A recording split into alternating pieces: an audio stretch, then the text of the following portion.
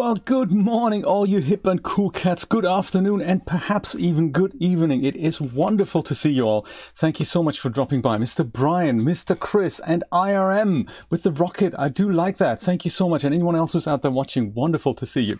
Miss Julia, for example, very, very cool. Let me go by, let me go start by putting on a bit of, you know, a bit of a cool track here in the background. See if we can actually listen to it. Can we hear it? Maybe it's not actually in the scene. It's cool. It'll it'll come up in a minute, I think, I'm sure.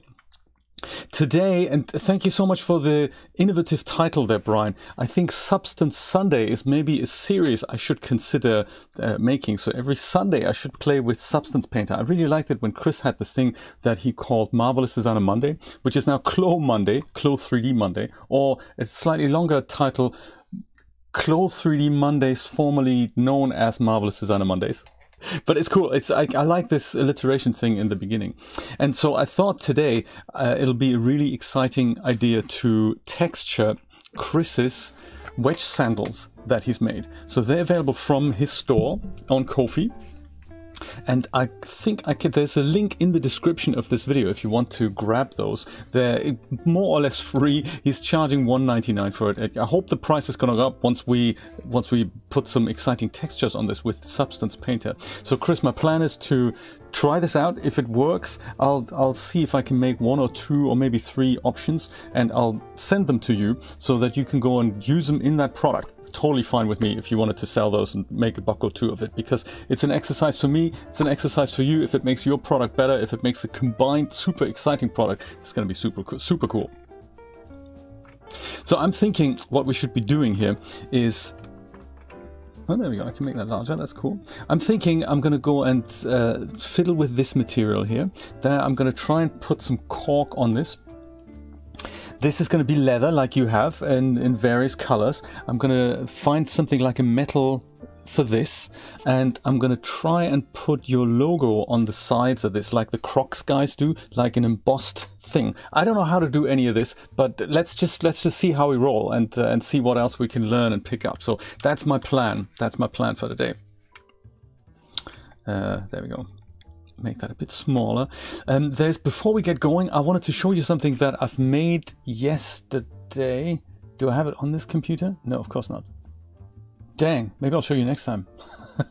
there are some things that I've been playing around with and of course this is not where they are no then that's not actually here um, it's on um, it's on my other channel it's on my 3d shenanigans channel and there are some groovy there are some extra, extra groovy things. Uh, if you go scroll down to the bottom of my channel's main page, you see my other channel, one of my many other channels, which is 3D Shenanigans. And in it, I've just uploaded a couple of videos which are variations on the DAZ animation yesterday. So this one here is the, the one in the subway tunnel. And this one looks just so cool because I've given it another little spin. So this is uh, an AI effect that I've applied in PaintShop Pro and I thought it's a really nice variation on an animation that we already know but it's you know it's kind of got a little bit of a spin to it and it's all hand drawn and stuff. This is thanks to a tip from Brian by the way who's made a video on how to do this in PaintShop Pro. So very very nice. It's just you know let me just roll that again because I'm quite proud of that. Actually there's a this autoplay off here perfect. yeah so this is what it looks like. Uh, thank you YouTube there, this is what it looks like. And it's the retro pop edition. There's so many other effects that you can apply and it's a lengthy process, but but if you're used to animation, it's actually not that uh, that alien to you that every frame takes a number of seconds to process. And I think in this case, it's about six to eight seconds. And I really like this look because you can barely tell that it's a 3D animation. It's just, you know, very, very different now. Mr. Nate is here as well. Very good to see you. Hey, thank you all moderators to for all your hard work there yesterday on the DAZ stream. Everyone who's been watching, thank you so much for dropping by. I really liked that. It was a good stream. I had a good I had a good time. It was um, two hours longer than I had anticipated, but hey, that's just that's just no that's just how it rolls sometimes. So yes, thank you so much for hanging in there, guys. Just before Christmas. Here's another one that I've made yesterday, and these weren't ready in time for the DAZ stream, otherwise I would have smuggled them in to the holding loop, so I'll do that for next time. This is that diner animation, and it just looks so completely different. These both these animations were rendered in 60 frames a second originally, and then I've messed with the timing a little bit.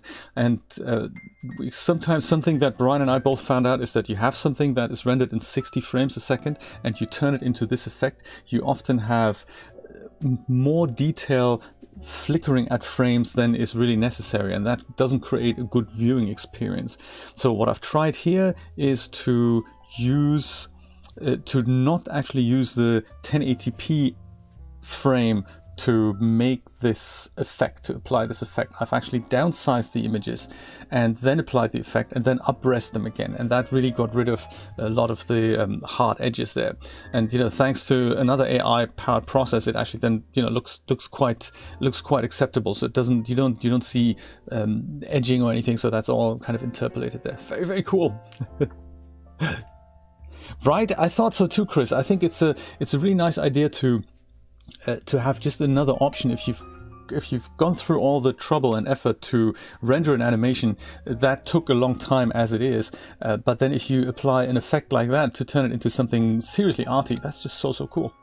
And also I was thinking um, then if you if you go and render something out as an animation that isn't quite high res enough to be stunning or the lighting isn't right or you know all these things that take a lot of time to uh, to do. If you're already thinking ahead and this is the effect that you want to use at one point then the render isn't actually that important. It's more like a template of what this magic can do there. So there we go. All of that can be yours by the way for only 30 bucks if you pick up that that exciting painter uh, paint shop pro bundle the corel bundle create with visual impact i believe. Very exciting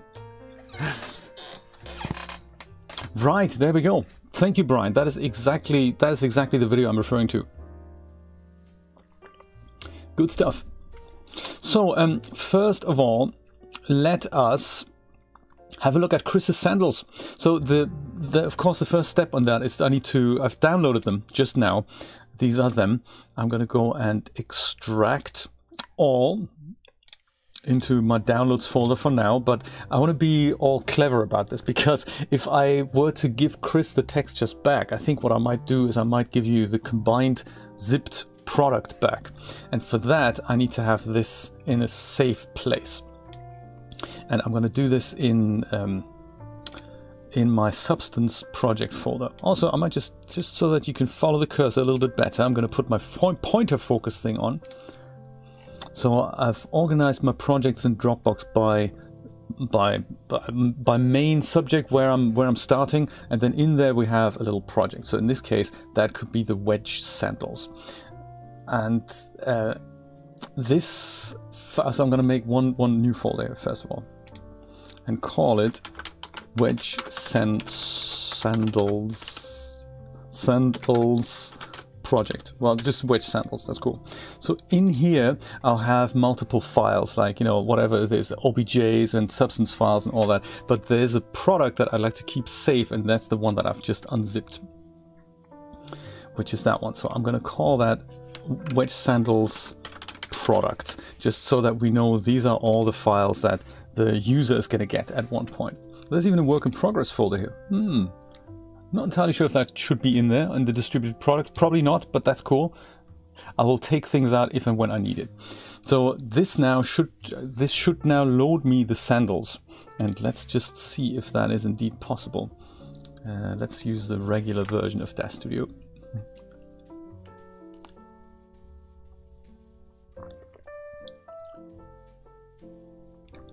Indeed, Thank you, Brian. I think, is that the right link? Let's have a look. I think it probably is. Thank you, Brian. That's exactly, is it? Yes, create with visual impact. They keep extending this bundle. So this was over, this was supposed to be over already. And so this bundle that Brian just posted the link to, that comes with Painter 2021, a ton of brushes. It comes with a video editor and also it comes with Paint Shop Pro with which you can make these effects. So there's there's a way that you can apply to single picture, but Paint Shop Pro can also work on a series of images when you use when you run a script. It also comes with something called Aftershot, which is uh, a bit like what's it called here? Lightroom. So you know, image uh, image kind of program that lets you do that lets you do a lot with a series of images and then apply color correction to 20 images and stuff like that.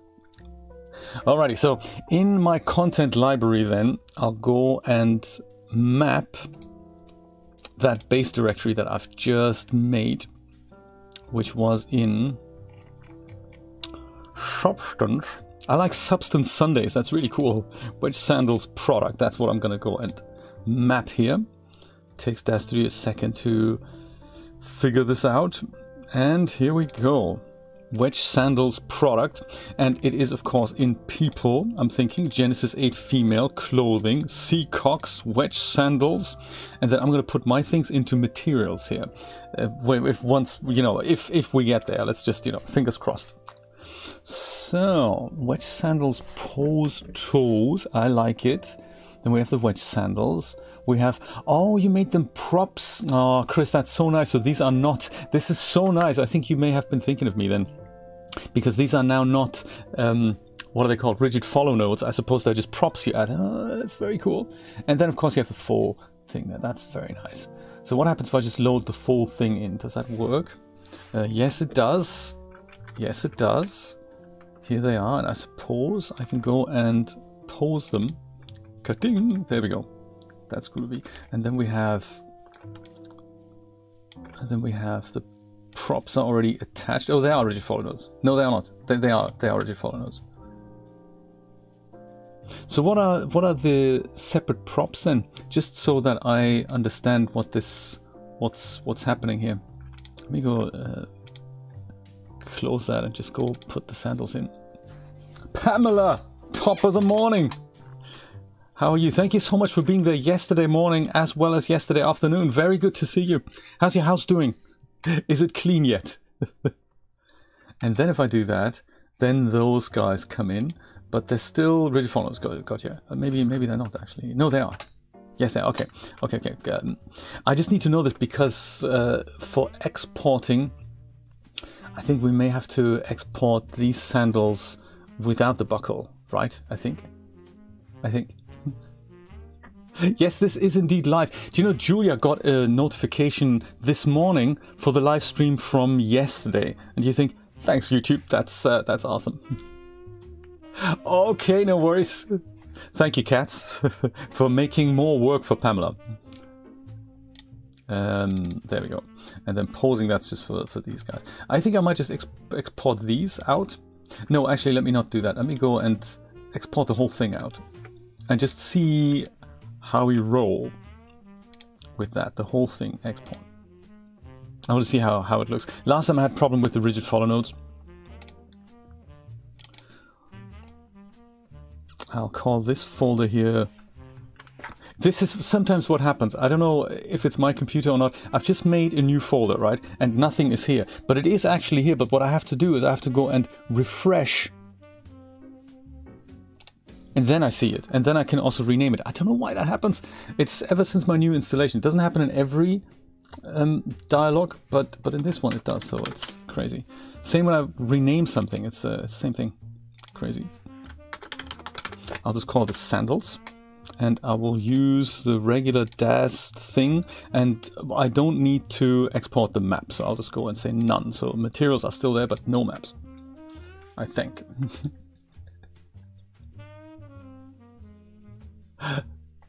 I see and now let's go what Mr. Substance has to say Mr. Substance Painter all the codes are still working stories of imagination tend to upset those without one yes Terry Pratchett at his finest.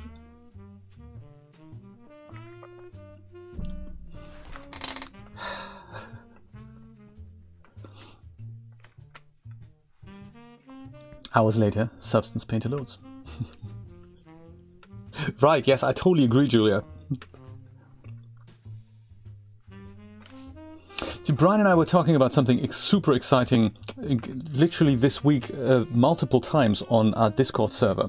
Uh, one had to do with transferring textures from one object to another using Wrap 3D, and the other one had to do with turning low poly people into posable things inside um, iClone as well as DAZ Studio.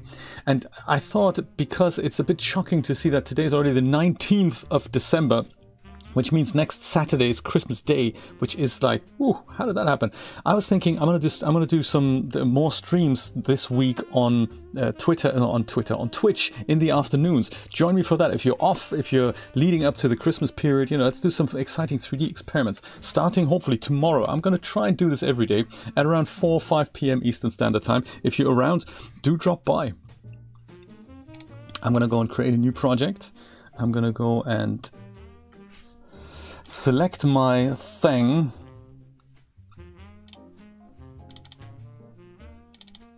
And we'll see what that looks like. Uh, this here, what am I going to say? ASM PBR metallic roughness starter things. I think I might just go and pick the other thing. Hello. There we go. I might pick PBR metallic roughness alpha blend just because I'd like, and I'll pick OpenGL because we're going to do this in that studio eventually. So hopefully, if everything works well, I can just go and do this. a Christmas cleaning as well, Pamela. There's a lot of cleaning that that I that I hear there. How do I move that again? There we go. That's perfect. Do you know? I might actually also.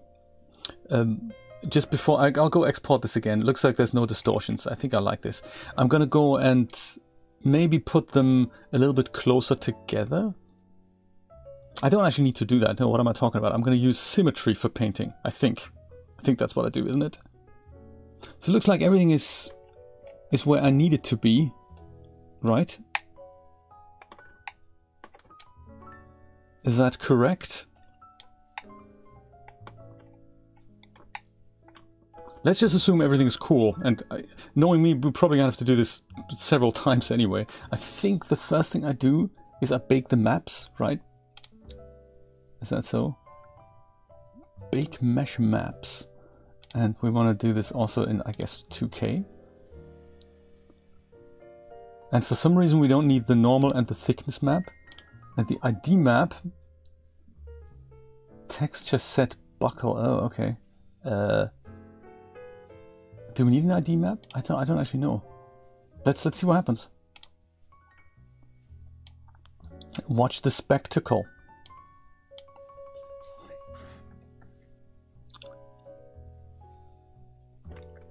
Hey, that's a clever idea. We'll just celebrate Chinese Christmas instead. I like that.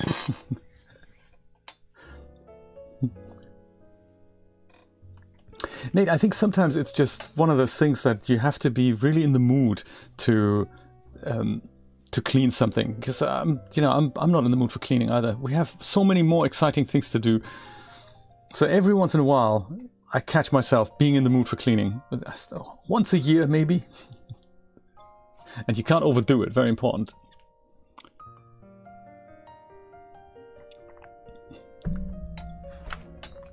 And I do like the idea as well that we just put it on the packets and say, hey, happy Chinese Christmas, moms.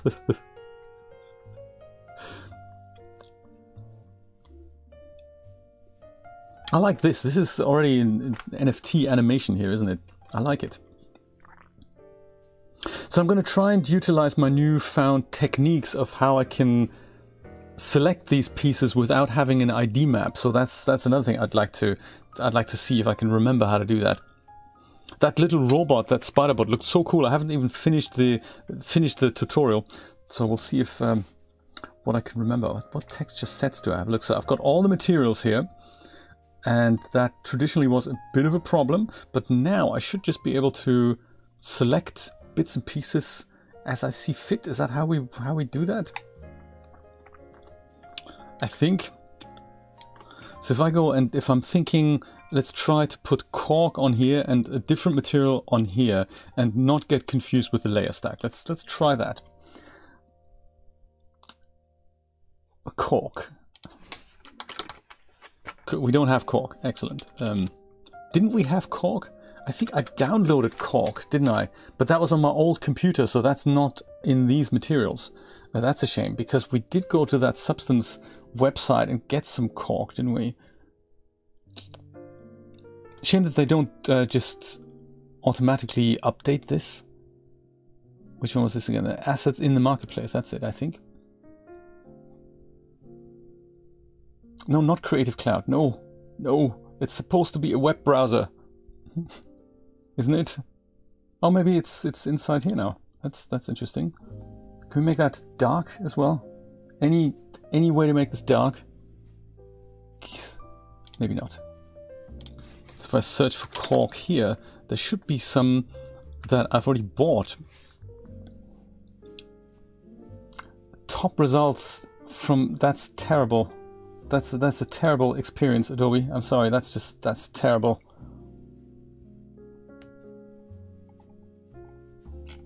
So where are materials that I would have potentially already bought then? Is that is that here somewhere? Manage assets. Are those my, my are they my assets? Cork, natural, ha ha. Download. All right. And there's other things. There's this this cork as well. Yes, I remember that. And there's other funky things. A jersey striped pin. I might just go and grab all of these because I needed to do that anyway. Did I download this already? Yes. And then there's this one. And there's that one. This is also kind of cool. And this one, and this one. And chiffon. I love it. There we go. I think I may have clicked one pixel to the left of where I wanted to click.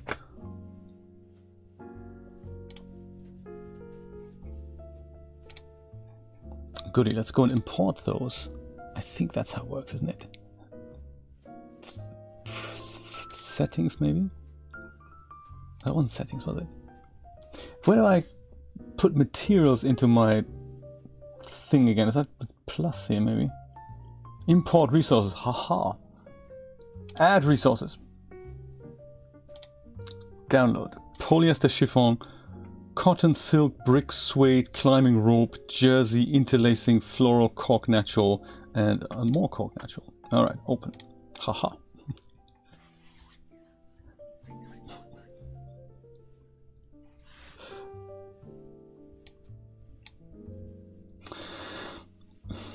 Now, is there a way to to tell Substance Painter that all of these are base materials? I have to seriously click this button here 10 times. That's convenient, isn't it? Just saying, this, this is something that computers would excel at. And I think I'm going to go and import my resources to my your library assets maybe? So that I have them available like everywhere from now on I'm thinking. This is correct right? Do correct me if I'm wrong. These are all base materials correctly? Is that correct? I don't want to you know click a button and then having to find hey that's that's made my life miserable. I think I might just try see what happens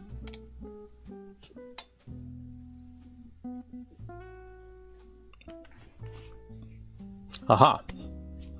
So now, well, I can look for imported resources. That's nice. So cork natural hex grid pattern, cork natural uh, no pattern. Let's do that. So if I, so I, I seem to remember, I just go and left click and drag this onto here, and that goes and applies it already, does it? I think. Hours later. Base materials, thank you. Thanks. Base, yeah, exactly.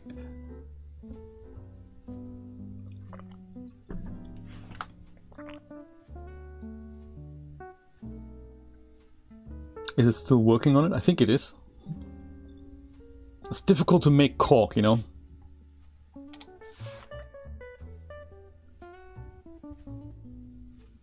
Cork! Alright! Cork.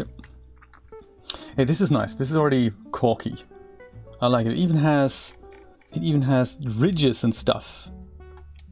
That's interesting. I, I, wish it didn't, but you know, it's fine for a test. I think it's okay. I do like it. It's uh, it's nice. Also, because I suppose Chris's shoes share the same UVs. That's very clever. Uh, the cork is is actually on both shoes without me having to do anything with symmetry right now. That's cool. I think symmetry is going to be interesting when I when I start doing some painting. So I'm thinking that over here on the straps and going over here, I think I'd like to have some stitches. Uh, so all around the leather on the outside so that it, it looks like it's been it's been sewn in there. So neat. Um, scale of this And also we don't have to we don't have to worry about any masks right now because I think it just does it by the material zones here. So it's going to be a little tricky to combine them, but we'll, we'll work with that. We'll, we'll roll with it. So scale then. Okay, Ridgy, I like it. Let's try two, shall we? And these ridges, I wonder if that's actually the the height. Can I just go and switch that off? Yes, okay, and then we don't have ridges anymore in this material. That's I, I like that. I like that because I can I just I just might put my own uh, stamps on there if I wanted to do that. There's also a certain amount of rotation I could apply. And I'm not sure if I need the UV projection or the triplanar projection for this. I have a feeling triplanar is probably what I'm looking for. Even though with this cork material you can't quite tell, but I think this is, this is more what, I, what I'm looking for. Maybe now the scalers actually would be even groovier if it's if it's a little larger. Maybe one would have been would have been fantastic. Let's say 1.5 perhaps.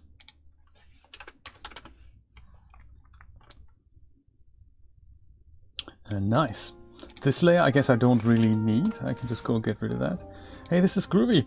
Let's see what happens on the on the inner sole and the, at the bottom. Okay, good stuff. I'm thinking we could probably go and put um, rubber on the bottom and then try I mean again I, I only know the concept I'm thinking we can we can use kind of a strip type um, height material to just put ridges on the bottom. That would work. And let's put leather on here. In fact, let's save the project first, shall we? Probably a good idea to do that. Substance wedge sandals, and we'll just whack that into the into the um, main directory here. Wedge sandals. So a leather then. Floral lace fabric. That might also work nicely. I don't remember what that's what that looks like. Oh no, that's lace. So we know that's not going to work. that might be nice. Silk smooth red, suede bruised downwards. That might work, especially if we change the color. Interlacing embossed velvet. Also neat. Cotton technical fabric concrete bricks, that might not work so well. Let me see what other materials I have here. I'm sure I have some kind of leather. Brian, tell me, I broke it, yes. Brian, tell me, are you off between Christmas and, uh, and New Year, or in fact leading up to Christmas, or are you still working? Leather natural colored, leather medium grain, leather fine aged, leather damaged, leather creased, calf grain things. I think this here with the slight shine and some bits and pieces. Leather bag. That's also neat. I think I'm I'm going with the leather creased. Let me do that. Left click and drag. Concrete sandals is gonna be great.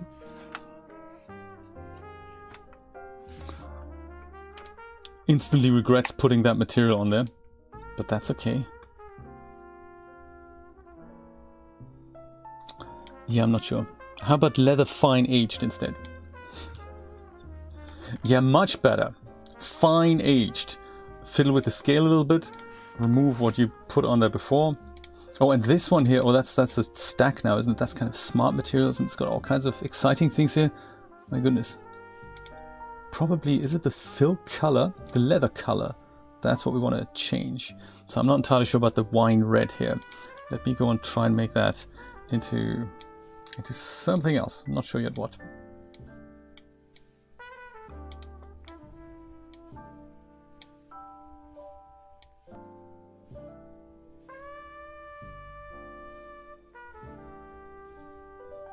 Maybe something more like a like a hot pink, like this, slightly darker. That might not actually good look all that good.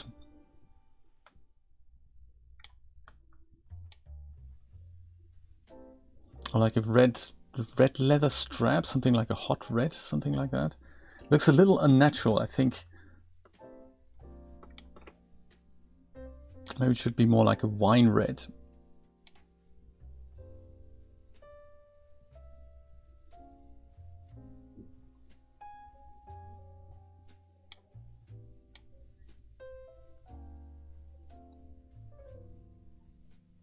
Yeah, I don't know.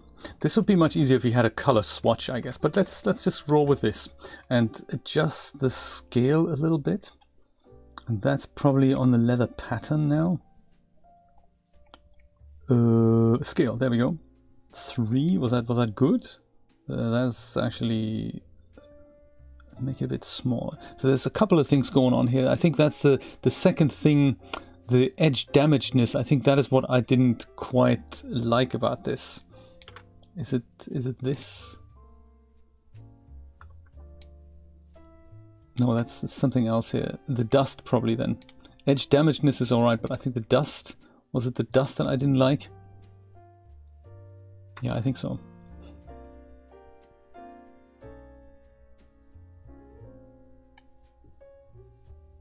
It almost looks nice if I make the scale really large, if it's like looks like crocodile leather then.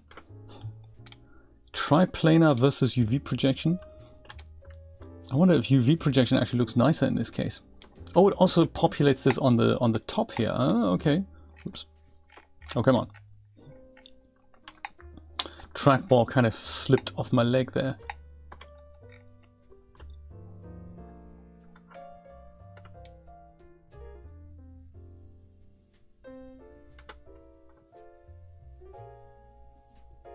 I don't know about the scale. I, I like it a little bit larger than smaller. Maybe I'll just try, yeah, 4.5, maybe 4, 4, 4. 4 is, 4 is funky, I'm thinking.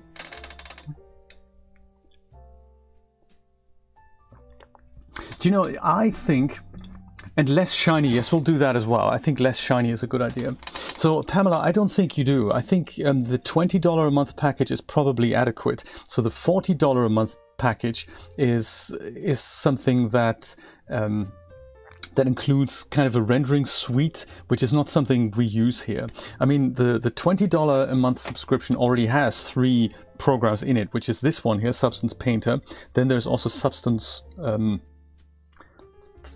something else and something something else. And they one is to create materials, and the other one is to I forgot really. So uh, if you're only interested in Substance Painter, you could also go down the route of buying the perpetual version from Steam, which is 200 bucks I think right now, but it is uh, only Substance Painter, and that's even cheaper than $20 a month. 20 bucks a month is the package that I have, and maybe we can actually can we see here in Adobe apps what what I get with that? Yes, you get the designer, that's the one. Substance Designer, and I suppose the sampler as well. Create 3D materials and lights from real life images. I think those are included in the $20 a month package. And the thing that is in the $40 a month package is this one here, the Substance Stager. So I didn't go for that because that is not, it's not a product that I understand. but I think it hints at the fact that Adobe have other plans to expand this into something else for which you then need something like an independent rendering thing. Um, but since we have DAZ Studio for that and the end product for me is kind of DAZ Studio or Blender, I don't really need that. But I have a feeling this is probably something similar to what you have in Clo, that you basically have a, a renderer that you can do more advanced things. And a bit like Keyshot. Keyshot, if you're not familiar with that, Keyshot is a is a rendering application that shows you models usually that you that you make in things like ZBrush. With an HDRI and it shows it to you in, in different color variations, just so that you have a better preview of what you're building. So if you're doing something in Blender and you're, uh, you don't want to set up lights and all that, and you're just into modeling and making refinements, you often want to just see what does this look like rendered. And Keyshot is an application that lets you just go and drag in an OBJ or an FBX and just with very few clicks make to have a really nice fully rendered preview. And you can use it for promo images as well. And I have a feeling Substance Stager is probably probably something like that. But I don't think you need it. You can always buy it later. You can try it out and see if it's if it's awesome or something. I've only ever used Substance Painter, which is this one, and I haven't even looked at the sampler or the designer. But these three, they come with the $20 a month package. And then on the perpetual front, let's just have a quick nosy at that. Oh yeah, and more assets credits. So this is another big difference between the perpetual license from Steam and the $20 and the $40 package. So I get, because I'm paying them $20 a month, I get 20 credits a month. And they roll over, so you don't have to spend them, they just roll over. And one credit gets you one material that you can download from their Substance site. So if you're looking for something special in the store, then you can basically go and download that with your credits substance. Painter 2022. Okay, so it's now 150 again. So the, the offer is gone. But yes, this is the perpetual license and you can only get it via Steam. 150 bucks. And it'll include updates for 2022. So when they release the next version, this won't include update updates. You will be able to use this forever, even if you decide not to do the subscription anymore, like if I stop paying Adobe tomorrow, I won't be able to use Substance anymore. But with this, you can use it even beyond, uh, you know, like in three years' time or so. So it's curious. I think when this was on 99 bucks, I think that would have been good. I'm going to go and put it on my wish list in case there is another sale on. I will let you know. So yeah, it's $150. See, one of my friends already owns this software. So clever.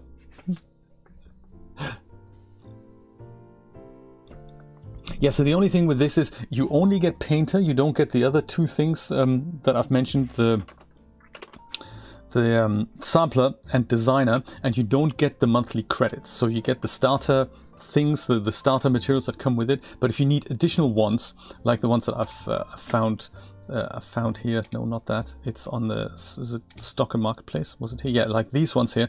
They all cost one credit to download, and um, yeah, they there's some fantastic materials. There's they also they have a second site which is called Substance Share. And that is materials that the community have made and give away for free. And those don't cost you anything. But if I wanted like the surface of the sun or the oyster mushroom material or something like that, it would cost me one credit unless it says it's free, then it would go and uh, I, I, can just get this for free. And other things, they they mentioned that I already own them. I think it says license then. Yeah, so with the credits, you can you can just build up your material collection. Don't know legally what the Look, I've got like 139 assets now, I believe. I don't know what the legality is of redistributing these materials. I'm sure it's not kosher, but also there's no there's nothing to prevent you from doing that. So I don't really know how they um, how they deal with that. Some are procedural, some use textures. So yeah, you don't you don't get access to anything that you that you see here. I don't know if you can buy credits for just for assets. There's all these all these things to consider. Let me go and see if I can make this less uh, a little bit less shiny here. So that's probably on the roughness map. On the probably on here. No, it's probably not on the dust. Dust does that does that do anything? Dust does something. That's kind of the the filter on the on the corners here. That does a little bit. The edge damage is also neat. I think I'm going to leave that on there. The leather pattern is this. And then there's the leather color, which it could be either one of them. It's not that. it could be then this one here. Uh, it's not that either. It's got to be that.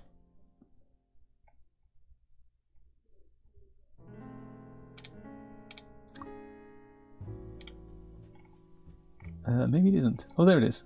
Roughness. Yeah, there we go. That makes it less shiny. I shouldn't I be able to put like an image into that roughness map somehow? Maybe that's not how it works on on a smart material. That could be. Also, you can't actually see what I'm doing. It's this roughness slider here that I'm that I'm twiddling with.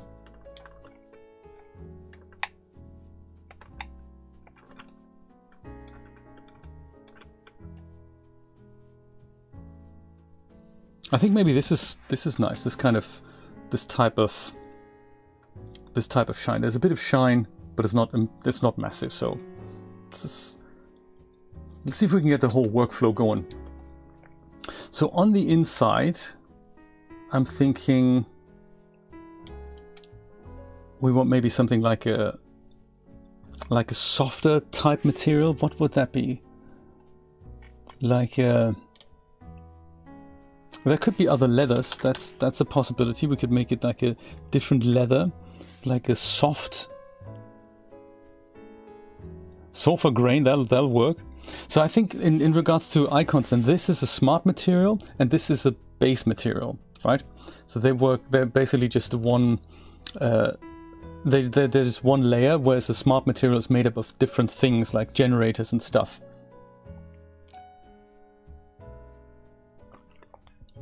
Do you know, it's funny that you should say that, Nate. Yes, um, that's a very valid point. Uh, bad experience with professional software on Steam. I mean, my only experience is from from users telling me they had bought Marvelous Designer via Steam because it seemed to be a good deal. But the problem is then Marvelous Designer said, okay, we're going to stop support for this version. And if you want to upgrade, you have to bring in your Steam license to our account. And it was all, it was very messy. And the Steam client itself isn't everyone's cup of tea. So it, I totally agree with you, Nate. Uh, think twice if professional software um, through Steam is what you want to do. You know, one of those things.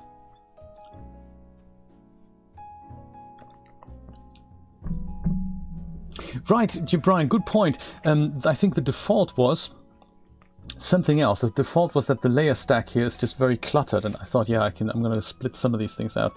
I've tried to put this shelf on the bottom here as well, and put this whole layer stack over to the left. And then I went away back to this, and I don't know. I'm still I'm still debating, playing around. What's the best thing? I think people who've been using Substance for a while, they put this thing at the bottom here and then they have their materials uh, here. And then they um, that's how they work. But still this kind of competes with because i find that these options are very important to deal with. But i'm also used to my layer stack from photoshop being on this side. So i don't mind which goes where but i'm kind of tempted to put this um, over here but I think the tutorials that I was following uh, that, that made that all very um, very difficult. So I, I thought maybe I'm gonna go and I'm gonna go put this here as I'm getting used to it. Uh, uh, here, oh, okay, fine. Here then, and then I think this needs to go into. Dude, no. Ah, oh, I've messed it up. Brian, what have I done? Oh, there we go. That's that's perfect. And then the properties can go here. There. And then this shelf here which isn't, I think, isn't called the shelf anymore. Is it still called the shelf? I think so. That, that, as he can't actually bring it back. I, I don't want to close it. That's not what I want to do. Dang! Thank you for liking my layout before I broke it. Toolpath, where's the shelf? It might not be called shelf anymore. Oh, I broke it! Dang! oh, really? Third party access? That is not good. Right. Yes, it can get messy with uh, with Steam. I totally agree. Assets, see, this is the one. Left click and drag. Yes, perfect. And put that, put, put, put, put over here. There.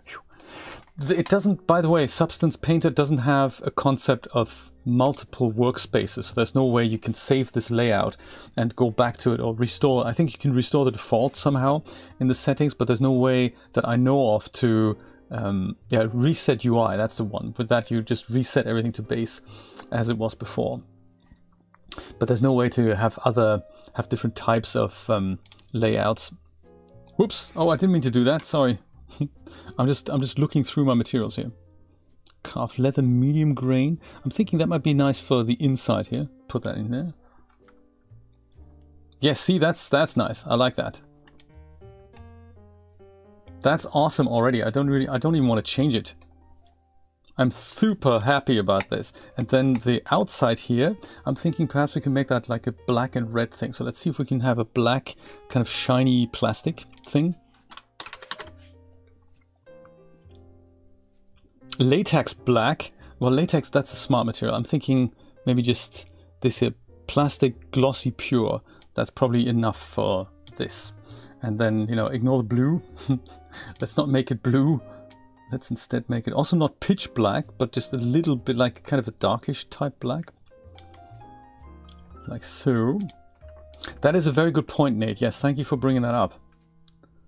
And this looks super perfect now, so I wonder if we should have a little bit of a variation in the roughness map down here. Let me see if I can remember how to do that. Or what even... Uh, is there something like scratches? There's grunge scratches. Like this might be nice. But you can't actually see it, sorry. this might be nice in the in the gloss channel and then just blend that in a little bit just to give that that super perfect stuff a little bit of variation. So maybe I'll go take this. And it is now barely visible. It's also not quite, oh yeah, let's, let's see if we can do something about the size then. If we scale this, the plastic shouldn't matter, but we get a few scratches visible here in the in there, so it's just a bit of variation. Maybe it's not the right map. Maybe it's also UV projection should be triplanar projection. Maybe that's better. You can probably see it from this angle a little better. it's just not perfect. I like it. I like that.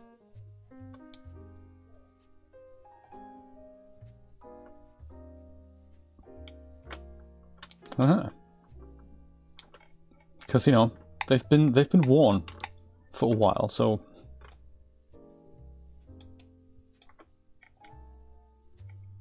I suppose I could go to town more, but I think I'm gonna leave it like this for now. I like the idea of putting maybe some metal onto the buckles here. Or actually, let's finish the inside of the shoe first. So this this kind of material here. What what would be good for that? Kind of a similar color to this, but just a softer material, something like uh, something like velvet. PBR velvet, is that is that cool? It sounds groovy. Let's let's use it. Let's see what happens if we put that on here. Can't do it. Excellent. Why not? Don't even know what that is. It's that's that's a that's a that's an effect. I think. Hmm. Uh, what else? We could try another leather type material. Maybe they're very expensive shoes then leather with with no grain. I'm thinking like a like literally no grain at all. Suede brushed downwards. Is that something we should try? Perhaps. Perhaps. Hey Max, how's it going?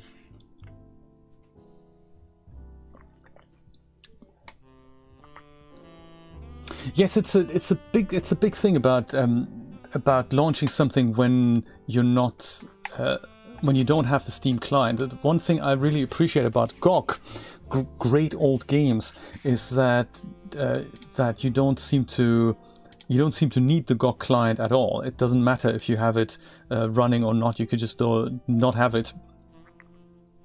And maybe like five or so is is nice. And then maybe this should match um, this color. I'm not actually I'm not actually that sure about the about the grain effect.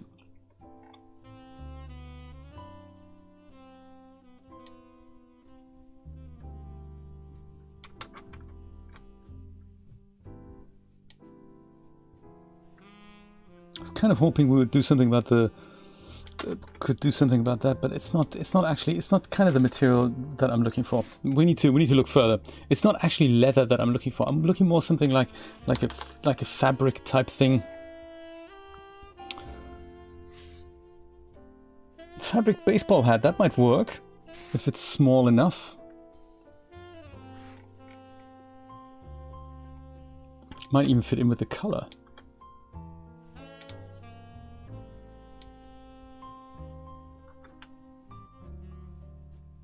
Maybe that's uncomfortable to wear, I can't tell. Maybe I'm okay with it though. And instead of the blue, I mean, it, it does go. But I'm thinking maybe... instead of blue, I'd, I'd like to match this cream color here.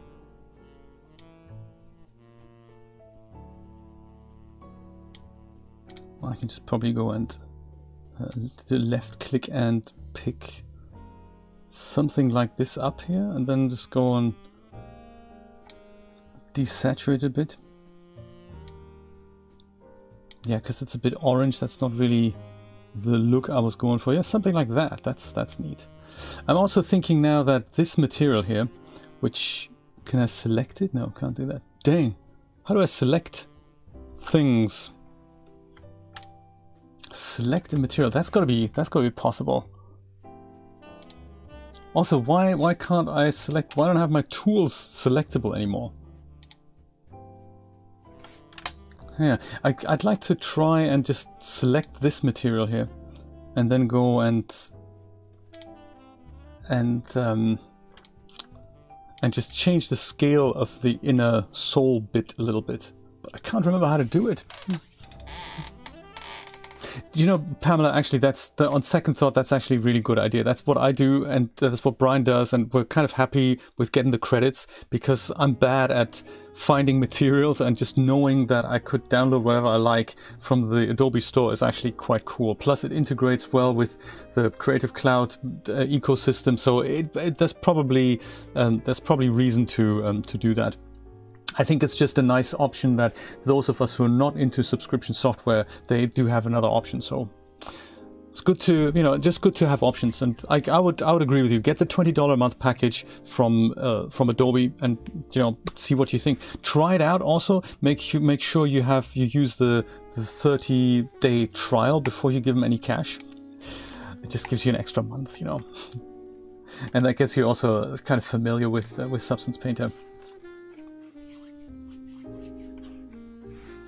Yeah, me too. It would be nice because they keep selling more and more professional software that costs you, you know, quite a pretty penny. That isn't a game. I forgot. I don't remember how to how to do this now. I don't know why I can't why I can't select just the material. I'm sure there's a there's a way to do this, but I can't seem to select tools. Probably because I'm on the wrong texture set here. See if I can find it here. Insole. I'll just go and pick that, and then this doesn't need to be here, and that's that's the insole, I guess. I'm, I'm just sure there's a, there's supposed to be a way to for me to do this. I think if I were to make a layer, like a paint layer, I think then I have tools, but just the selection, uh, that'd be kind of nice to have that. Um, size, scale, there we go. Scale, maybe make that uh, And maybe one was okay actually. Maybe I will I will leave it there. 1.5. Because two is is too small, isn't it? That's too detailed. One is a bit large, so maybe we'll go make it 1.5. Yeah, like that. And I'm still not entirely happy about the material on the on the outside here. I think I'm, I want to keep looking for that. I have a feeling that's probably called straps. Straps inner, I think I'm I'm good with. I like the fact that there's a bit of a pattern going on there. I even like the way it's it's falling, even though we could try the triplanar projection versus versus that. See if that does a does a better job at it. It doesn't really. It's it's just a different job. I think I'm to stick with UV projection. And let's see if we can find a different leather type material for the uh, for the straps here. Fine 8. So I'm going to go get rid of that. I might go, or just um, make it invisible until we find, you know, something better.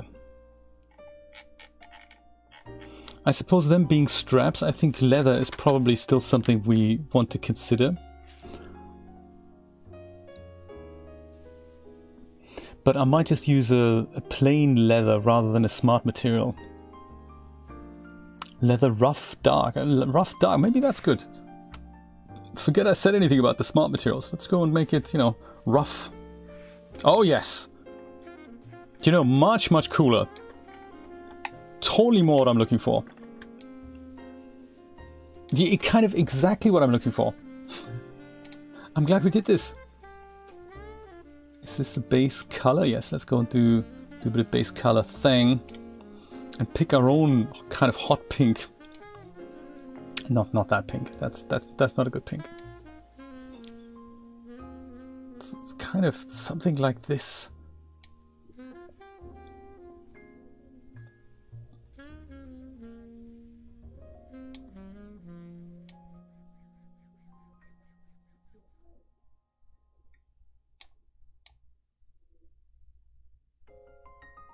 you make it too dark and it doesn't look doesn't look great. So make it too bright, also doesn't look good. So it has to be has to be just so, you know. I think the color that I'm looking for can't be displayed by my monitor. So I might just go leave it like this. And I'll see if I can emphasize the grain a little more. Like the leather texture, if I could just make that a bit a bit more. Oh, look the other way. Look at that. Very good. Very good. Yeah, maybe a little, a little more. Or is that too much now? Maybe that's too much now. Uh, maybe it isn't. Also, maybe I'm not entirely sure about the... Yeah, I'm not sure about the height. I think the height was actually good the way the way we had it. and the color, I'm just not entirely sure about the color. What, what other colors would work? I think it's just too saturated to be to be super honest. If we take saturation down, you have to also make it darker, otherwise it looks pants, but then it starts looking pants, so I don't know what to do.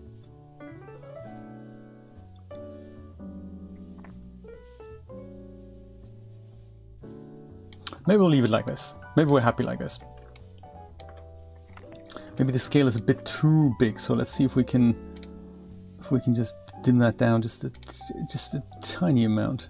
Maybe with two? Oh, that's not the scale. Gotcha. Gotcha. Leather fine. Oh, that's a different thing. That's base. If this is the leather texture, yeah, it's got to be the the scale of that. But that doesn't do anything. Pink is funky, right? Yes, I'm thinking that as well. Cork and pink that goes together with an offset of black. I think that's where we're, we're okay with that. Yes, the scale of this material. How do I change that? If it's not the level, that's not this. That's the that's that is is that the, the roughness maybe? Did they do that? No, that's that's the roughness, isn't it? Could it be this? No, that's just the, the name of that. What expect this to be on here? Could it be? Oh, it's on the mask maybe. Mm, no, that's it. It isn't that either. Is it the cells? This one here. It's the generator. Oops. What did I do? Bring it, bring it back. There we go. Was it? Is it the cells? Yes, it's the cells, isn't it? So if we make that 2, then it changes. Perfect. So it's like maybe 1.5, 1.2, 0.5. Ay, caramba, see? Is it not so bad? 0.7 perhaps? Because I'd like for this to be a feature. I don't want this to... I, I don't want this to compete with that. So, although I'd like it to be on there, these two things are a little too busy, I'm thinking.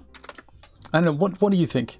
I think one, there's something not quite right about it. If I make it larger, it starts to get more interesting.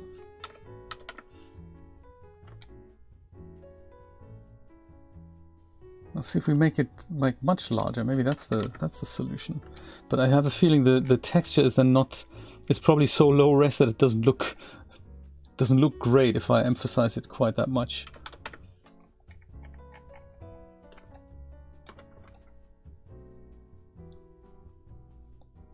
What do you think? Hmm. I need opinions. I think this might be a little bit too large. So 0.3 might be too large. Like 0.5 I think I can kind of live with.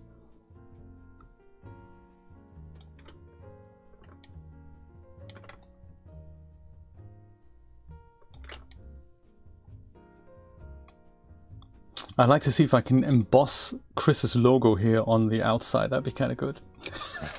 I know, Pamela, it's a really, those are difficult creative decisions.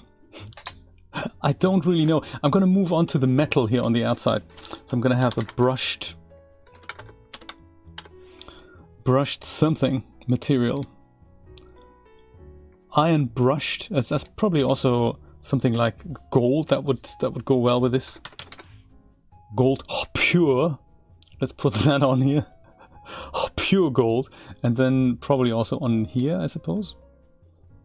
No, actually, that would be that's a no. That's also that's also gold. That's it's good. It's 100% pure metal. This. I like it. Yeah. So my other idea was um, with this um, with this material here that we don't make it that we make this scale much smaller and then uh, instead not actually see a grain like that and then instead just have stitches on the outside of this. That might actually be a really nice um, detail. So maybe we'll try that out. Let's try that out. I'm thinking, so straps.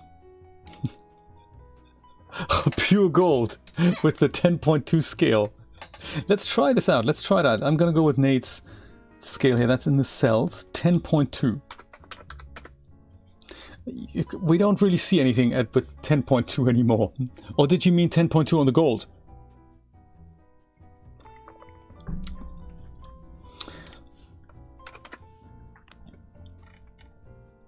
Yeah, I think for this, we if if I wanted to go with that idea, I think I'd have to go with with something that isn't even a isn't even a cell. Can we do that?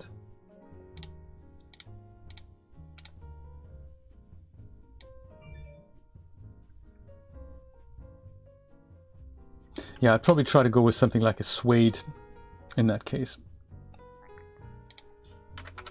Let's leave it on 0.5 as one of the variations we were thinking about, but let's go with, with suede.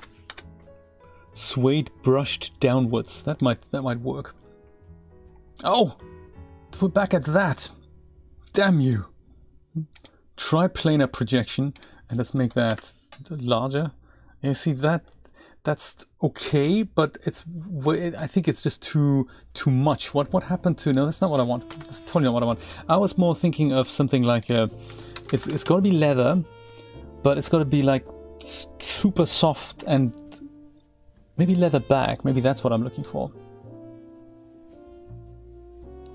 It's it's just not. I'm not feeling it. You know. I think I'm starting to feel it. This this could I think I'm starting to feel it.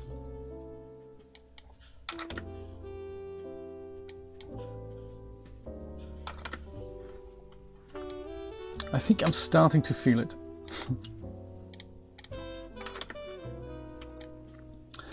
that with stitches.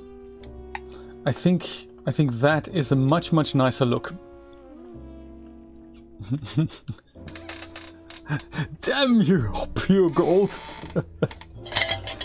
that in various colors and then with stitches on the outside. I think that is, that's where we're getting somewhere. We're getting somewhere. Only took us an hour, not bad. All these creative decisions.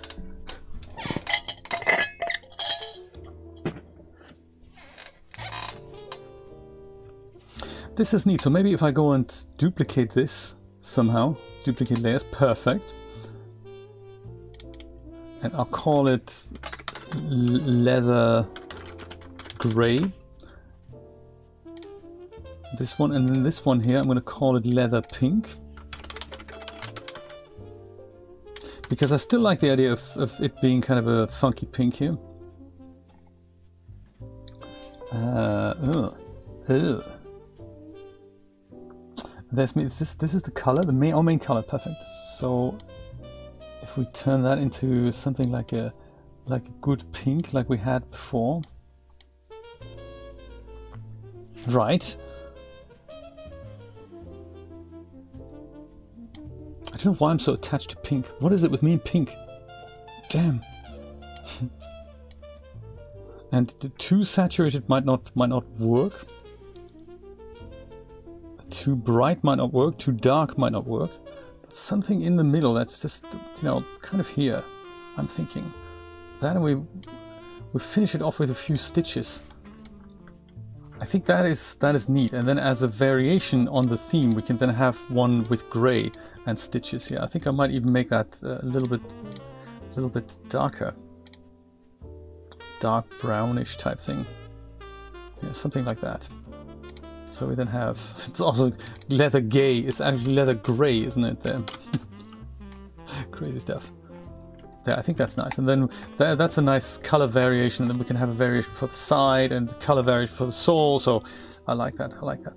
I think here, let's try something like a rubber sole then. I don't have rubber? Oh, come on. Are you sure there's no rubber in my library at all? I don't I don't have any rubber. Damn. It's a plastic, I think. The plastic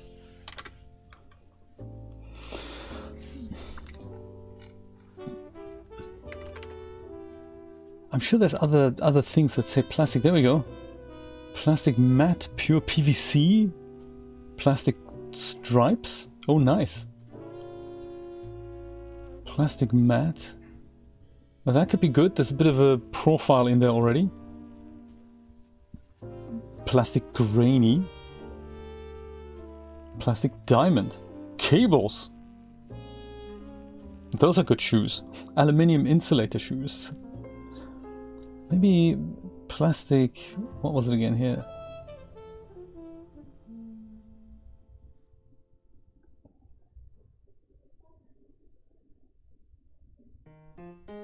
Was it grainy? Was it that? That I could try that. That's cool. There's a plastic rubber, is there? Plastic rubber. Not not on my installation, Brian. There's anything that says that I look for rubber. I don't. I'm not sure if we have that. I don't have rubber. Well, maybe the the store has it. I'm usually looking at this on the uh, on the website here. I don't know why it now opens in the in the Creative Cloud. I think let's let's just try it on the website. See if that if that works. Is it substance3d.adobe.com? Uh, 3D assets.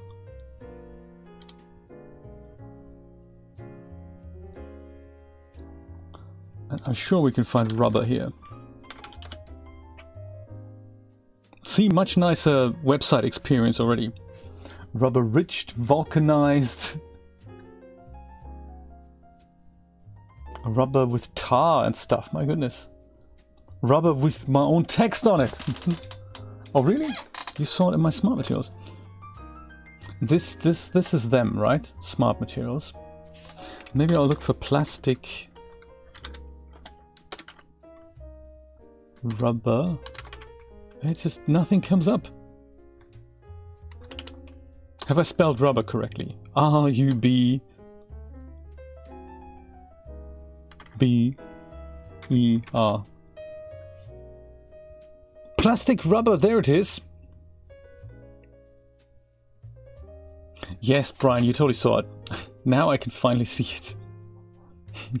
Thank you for showing me things on my computer that I didn't see before. I Ay caramba. I mean, why not? It's, you know, it's a rubber sole. It's a, sole. We're not we're not going to look too closely at it. I would like to, I think, copy this material, this shiny black, onto this part here. Let's see if I can manage to do that somehow. Mr. Trader! How you doing? Rubber, that's right. Crazy, isn't it? But then all of these, maybe what they're saying is all of these uh, could stand in for rubber. Maybe they're tagged with rubber, which is why they're all coming up. It's it's crazy. Um, so what do we call this? This is the sole insole. Is that it? Uh, that's the insole. So the sole bottom, sole foundation. That's that's that. Sole. Those are the buckles. Sole bottom. That's that's probably the bottom thing. Sole foundation was that. Sole upper maybe was that? Yes, sole upper. That was it. So if I go to sole upper, and then go that can be removed, and then I can just go and copy this material. I could maybe even just go and left click and drag it onto here. Is that possible? No, of course not. No, no, no, no, no. That would be intuitive. We can't have that. So if I go and copy that layer, and then maybe copy the sole, paste that into the sole foundation thing. Yes, that works.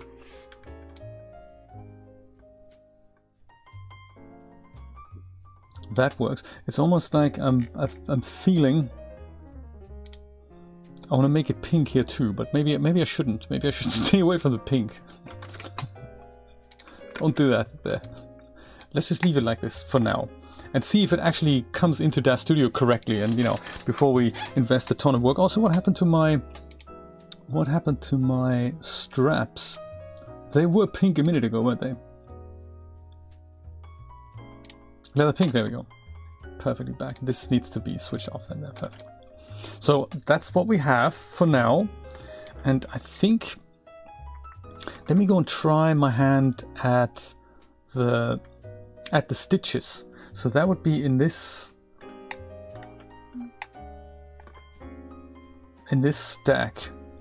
And I'll go maybe make a new paint layer. Let's see if that works. So stitch S paint roller stitches 1, 2 and 3.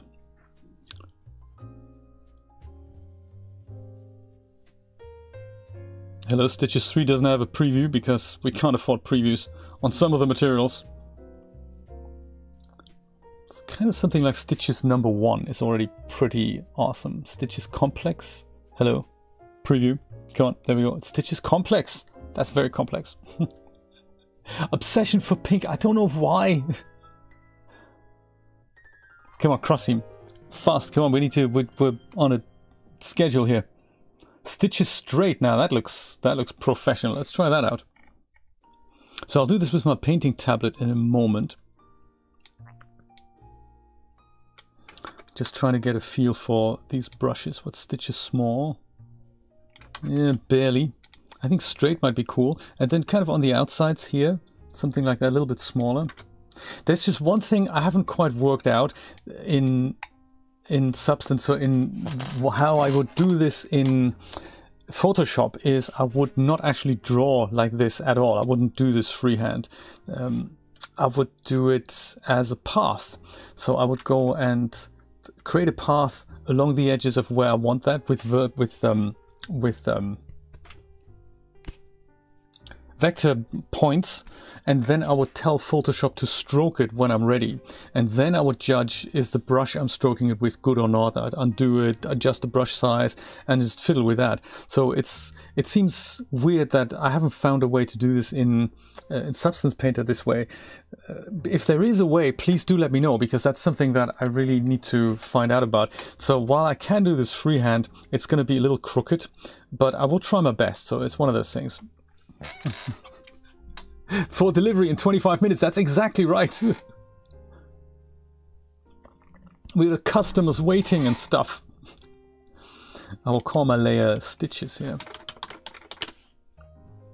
Or I, I spell it correctly as well, stitches. And are we happy with the way this the stitches look? I suppose we can do that. We can do that kind of later. Once we've painted something, it's too late to change stuff here though, right? Yeah, there we go. So two might be too much, so I'll try 1.5.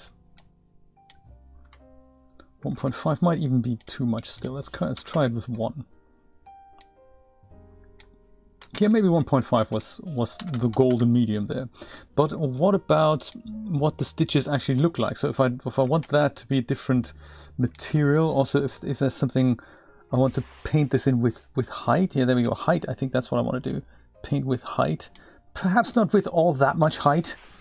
God damn it. okay, no height then, fine. Forget, forget I said height. That would just be nice to, to have something a, a little bit of heightness there. But also I can't seem to find where I would where would adjust the height as such. Is that an attributes? If I were to paint with height, is there anything else like the heightness of it. It's gonna be like a height slider as I as I do this. There's size, there's all kinds of other things. There's no height. You paint like this and that's it. You paint with height. End of story. It's gotta be a way to do this. Stri slice contrast. Is, is that it? Yeah, that is not it. Gotcha. Advanced blending. Tiling, no tiling. Material mode, stitches straight. Oh, that's openable. Ay caramba. There's a lot of stuff in here. Just slap stitches on everything.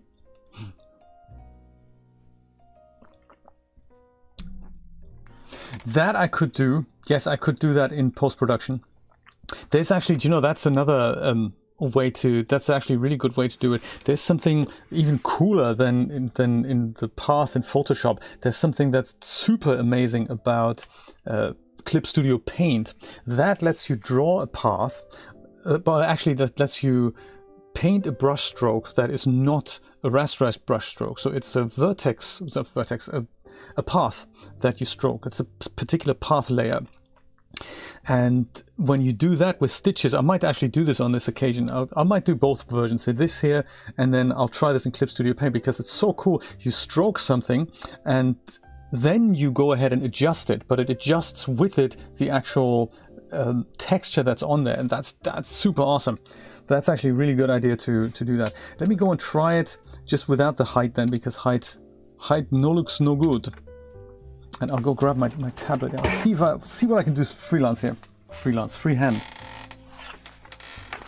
This could get extremely messy.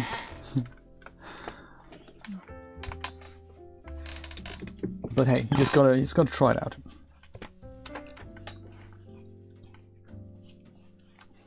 You just gotta try. Yeah, see, one one issue I'm thinking is how do I make it one stroke from here to there? Because I can't see the whole thing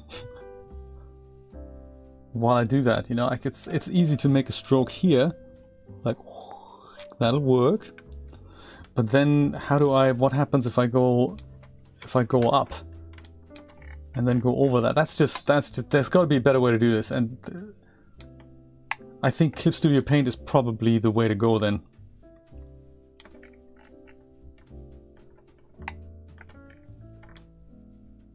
Because, you know, even if I were to be super skilled and do this freehand, how am I now going to go and, and get around it? Because, you know, the thing is you can't just... You can't just, just then start painting here because, oh, you can. A skilled operator can. Okay, maybe that is it is possible then. So maybe let's go and oh, there's also there's something else I think here that's called the kind of steady stroke or whatnot. Is that is that in here somewhere? No, that was mirroring. There's a way to lazy. What's it called? what's it called again? Was it here? Lazy something. Stroke opacity spacing. This is called lazy something. That that means you can your your stroke isn't drawn immediately. It's drawn like slightly after. Yeah, this is this. I don't think this this is never working. If you try this in Photoshop freehand, it's also always an issue. Because I bet if I look at the UVs, they're probably really straight and nice. Like, you know, Chris would do them.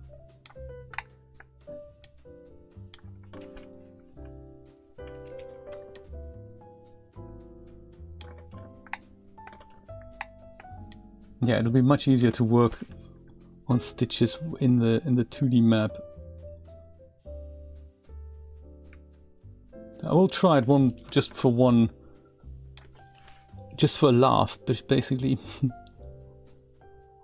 so no matter how you how hard you try, it's always going to look messy.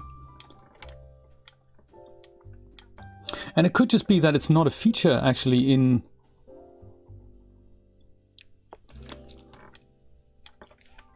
in Substance Painter at this point. Even though I'm pretty sure millions of people are going to cry out for that and say, hey.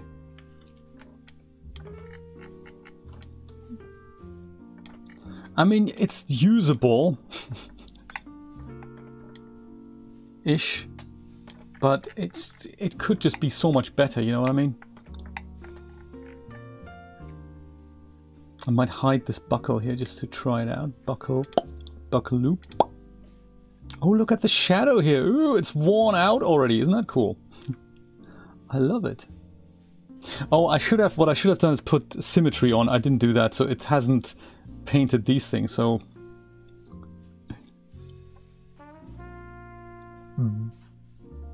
Straps, there we go. Let's try that. If I put symmetry on, does it does it do this on both sides? Yes, look at that. Does. I can just about see my cursor doing it in both sides.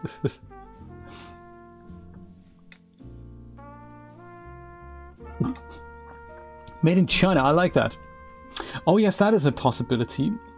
I could try that 3D, 2D and see if that makes it easier for me to... Whoops. Man, I hate it when that happens. like you, Brian, I do get frequently confused about which modifier key is being used by what application at any given time. Can I do that here? Yes, that works. So I can I can maybe work... Yeah, Brian, my goodness. That is just... That is just super cool. Good point. We do have that 2D view here as well. I totally forgot about this. Be nice if they had path tools in here. yes, that's that might actually be easier to to deal with that. If only I knew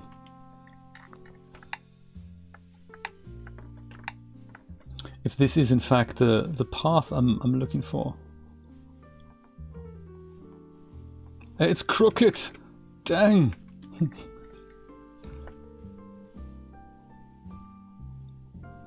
yeah, without paths. Strokeable paths.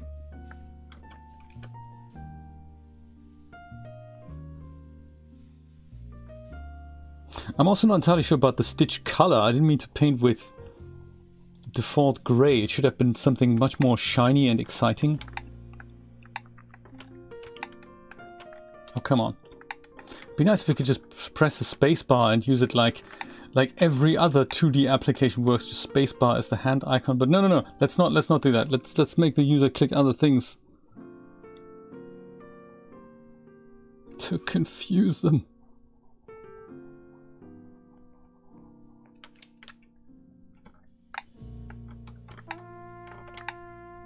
I would then also actually love it to Oops. What happened here? There.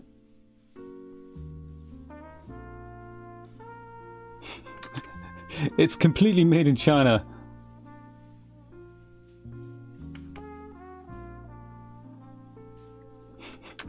totally made in China.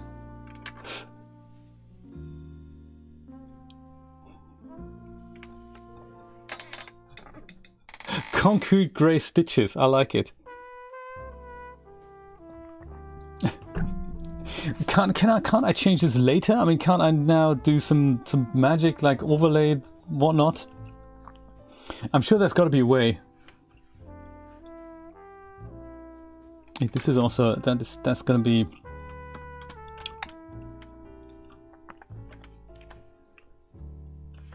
Didn't I just rotate this somehow? The way I didn't want it. Oh yeah, there we go. Because that makes my life easier as well.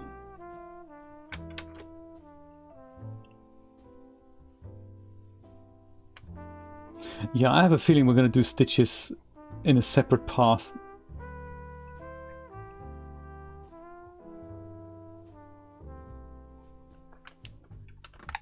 Oops. I can also just go and put 2D only on, then I have a larger uh, viewport here, that's possible.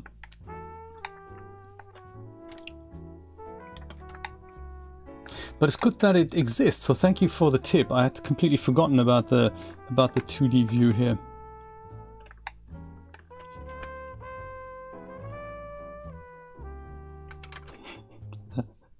Chinese stitches.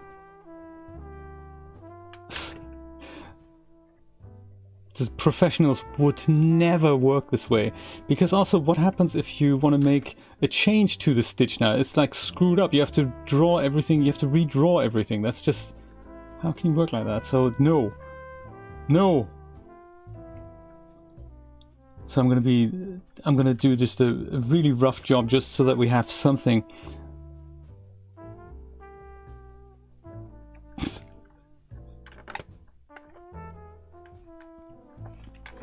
What is the best software to make clothes? Marvelous Designer, ZBrush or Blender? Do you know what? All three of them. And you use, you basically use all three of them side by side. Like uh, Chris, for example, uses Marvelous Designer and Blender together. And some things are just better done in Marvelous Designer, other things in Blender. So these straps here, for example, they look like they've been made in Marvelous Designer. Whereas the bottom part of the wedge sandals, they're made in Blender because that's easier for hard modeling. Uh, likewise, sculpting tools are also good for certain things, but not for everything. So I think what's important to remember is that um, that the that you don't use one tool for every part of your workflow. So I think uh, Marvelous Designer is good at draping cloth and cloth-like things, including curtains, pillows, stuff like that. Ugh. Ugh. Yeah, curtains, pillows, anything that drapes, including straps like this but it's not good with things like box modeling. Likewise, ZBrush is really good at... No! Don't do that! Ugh. Redo. ZBrush is, is good at sculpting. It has box modeling tools in there, but learning those is literally going to fry your brain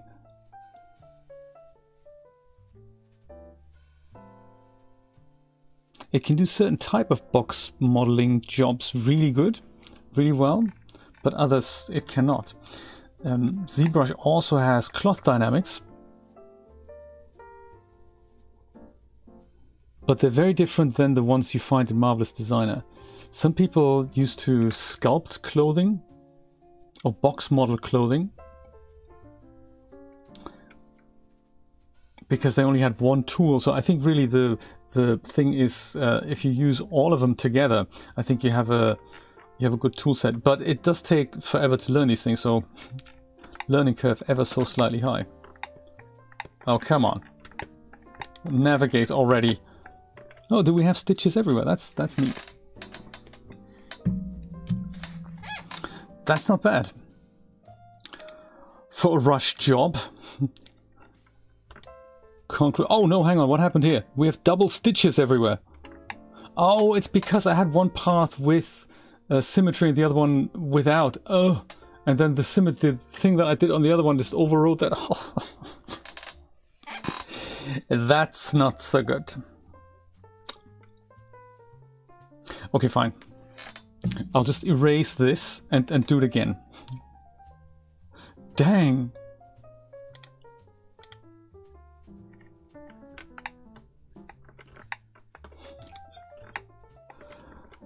Yes, dang, brother.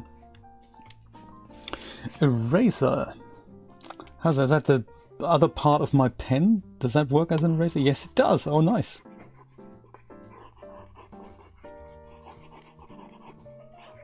Goody. Erased stuff. Now the the real part of my pen comes back.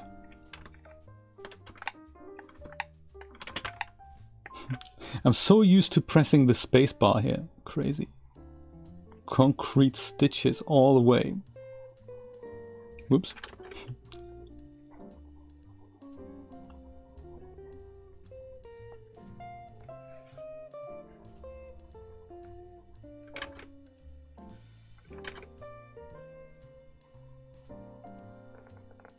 You know, I'm actually, I don't really have many plans for today. I'm happy to hang out, so i am happy to go and do these, redo these stitches in Clip Studio Paint and show you how that works. I haven't done it in a while, but it's a wonderful process. It's just such a cool concept. I might do that afterwards. So I'm thinking, let's go put the put these stitches together, try to export these maps and try to import them into DAZ Studio. I think the other thing that we're gonna have fun with is to combine the maps. Because so far Substance is gonna make my make me like 50 maps.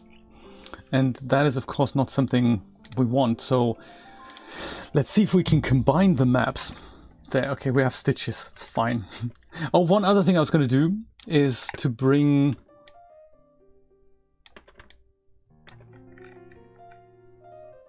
Stitches are missing here. What's happening?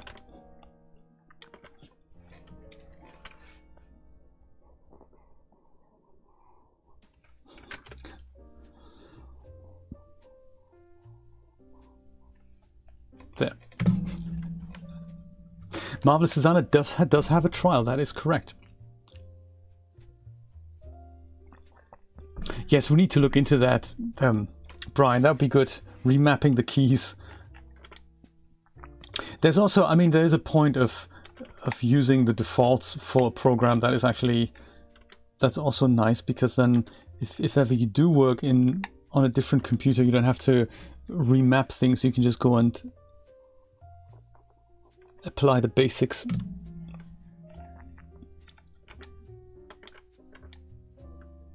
Concrete stitches. Bitches. I like it.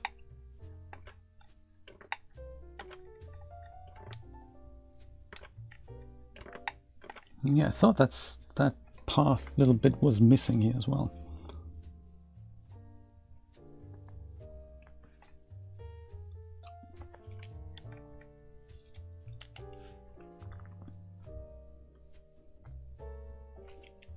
Ideally, isn't that a razor tool? Or how else? I mean, if I if I turn my Wacom pen around, it does do me this eraser here, but maybe I can. Oh, I can just do this. That's cool. That's cool. I just wanted to avoid having this and that kind of a cross stitch here. There. That is quite nice, isn't it? How that works.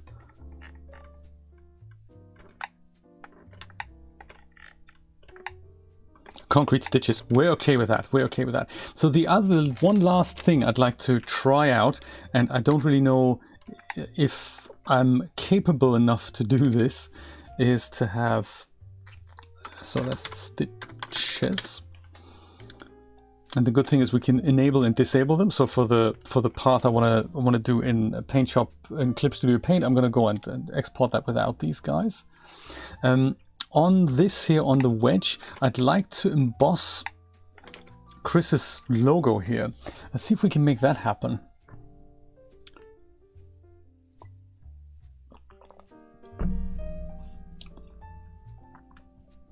So that's gonna be the, is this the sole? Yes, that's the sole. Cork is good. I think do I need a paint layer for this? A mask, an effect, a fill layer, a preset layer, a group. I think it's... Um, so I'm painting, what I want to do is I want to paint with an alpha, essentially, and use the alpha as a height map, and then just go... That, that's my plan. I think it's just a regular uh, paint layer. Uh, oops, that's two paint layers, sorry. Regular paint layer, and then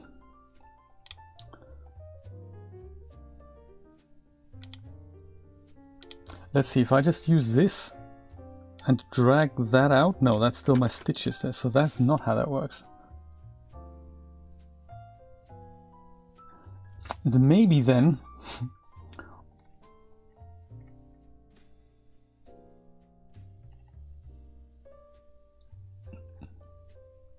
how do I do that again?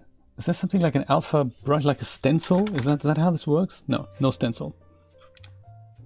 Fabric soft denim uh, color clamp invert. My God, invert. That's something that I'd like to do, isn't it? Adjust height. That is kind of what I want to do.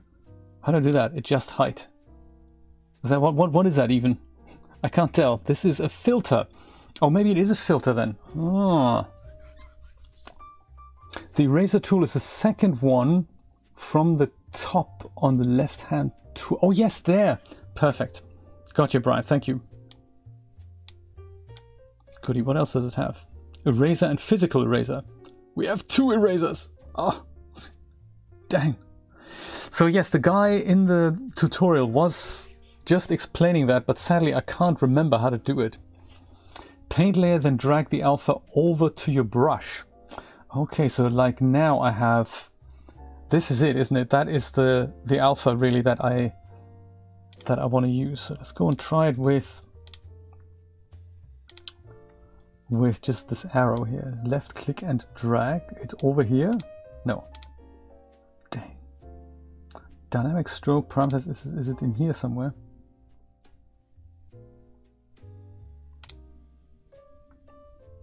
Yes, so in height, I'll go and put um, either put it over and put arrow in height. There we go. I think that's it. And then we go, uh, then we drag this out. So that's not the, the kind of paint mode that I like.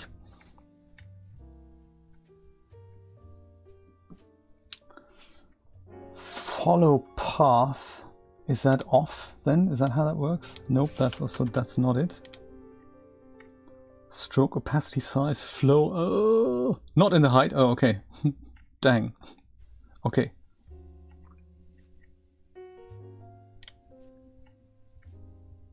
Oh, it had actually applied it as an alpha. Oh, and as height.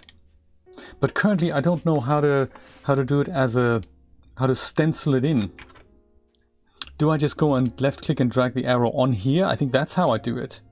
And then I do mask base emissive height. So I want to do this as a height thing and that kind of works. So you just drag it directly on the layer and then it kind of does its thing somehow. And then you can move it and I suppose you can scale it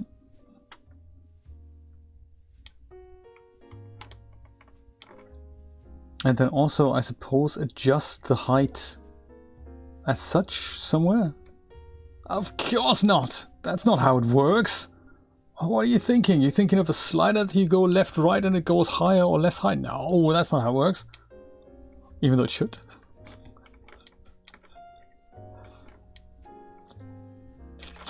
Deselect all the channels and then select it.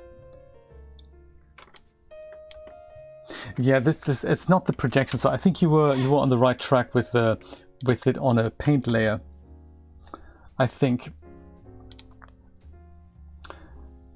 Deselect everything. How do I? It's maybe too difficult. I don't think I can do it.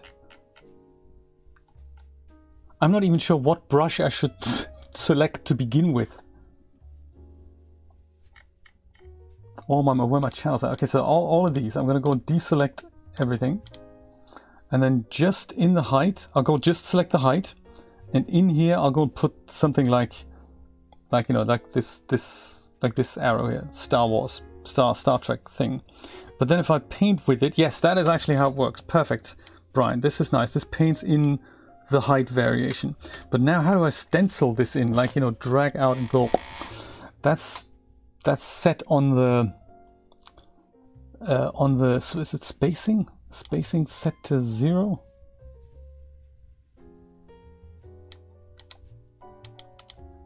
or just go and dab that could be like just boom no that doesn't that doesn't work either it is so difficult isn't it and the guy was explaining it in the tutorial and I thought, oh, this is really nice. And then of course, instantly forgotten how that works. But it's only because Substance Painter has like 70 billion options. And it's easy to forget one.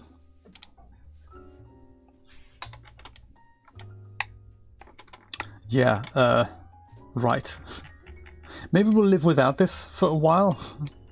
until we figure it out. I'm to go and have a bit of fun exporting this now for to to DAZ Studio. See if I can um, see if I can make head or tails of the combining the maps. So that's another step that I have great, great difficulty with, especially if we have so many material zones uh, like here at the top. So what Substance Painter is gonna tell me now is if I say export textures, it'll uh, give me a list of exports and it'll tell me it'll export 66 texture files, which is of course total insanity. Nobody would ever want this, but they say this is the only way it works. So there's you have to kind of combine all these maps into one, and sadly they don't have an option to make that happen. I don't really know why, but there is apparently a little Photoshop plugin that with my computer crash, of course, I've lost. So I'm going to have to reinstall it. Uh, that's one in Photoshop. So I won't export this yet. This I don't really understand. If I select nothing, I think everything will be fine. I think. Emissive, I suppose I don't need emissive Metallic, I suppose I need. But yeah, the emissive map I don't think I need. So let me go and see if I can if I can find that uh, plugin or the um, the the it's a script essentially in Photoshop that apparently does this. So let's let's see if we can we can do this.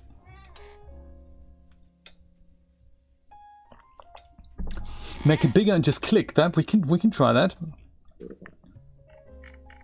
So um Oh, we're not on the right thing here. So soul. Like so, and then just go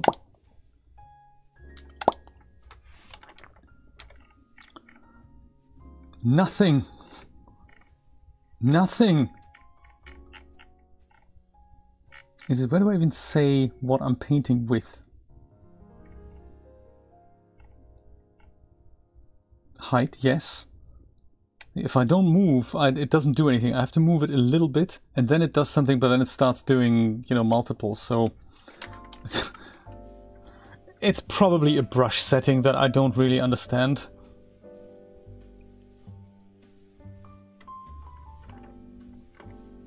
Yeah, so just clicking doesn't do anything. I have to move it at least, at least a little bit for, for this to happen.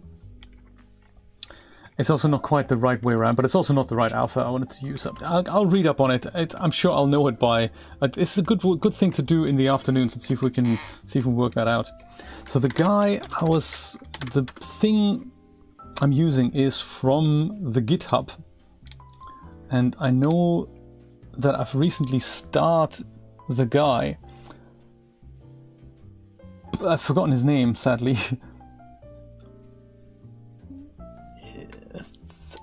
should. I'm part of Epic Games, you know, on GitHub, by the way, which is seriously cool. Manage organizations. Isn't there? Shouldn't there be? Isn't that on on my profile, just like that? George, Bill, Manny, one of those stars. There we go. I think it's it's here.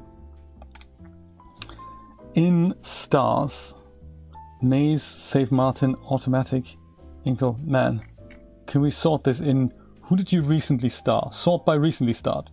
MazeSpace, that's not. Sav Martin Text Tools, Automatic Resolve Post. Comphonia, Substance Painter Merger, that's the one. Comphonia, Substance Painter Merger, that's exactly right. That's the thing we need. And under releases, that is it as source code. No, we don't want to do that. It's source code we don't want. It's uh, it's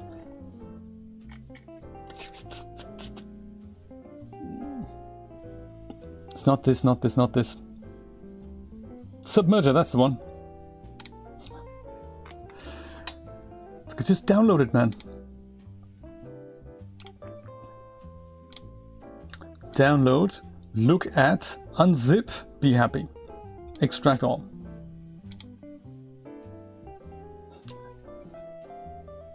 And then, uh, should it be in here? It's just in here somewhere. Where is it now?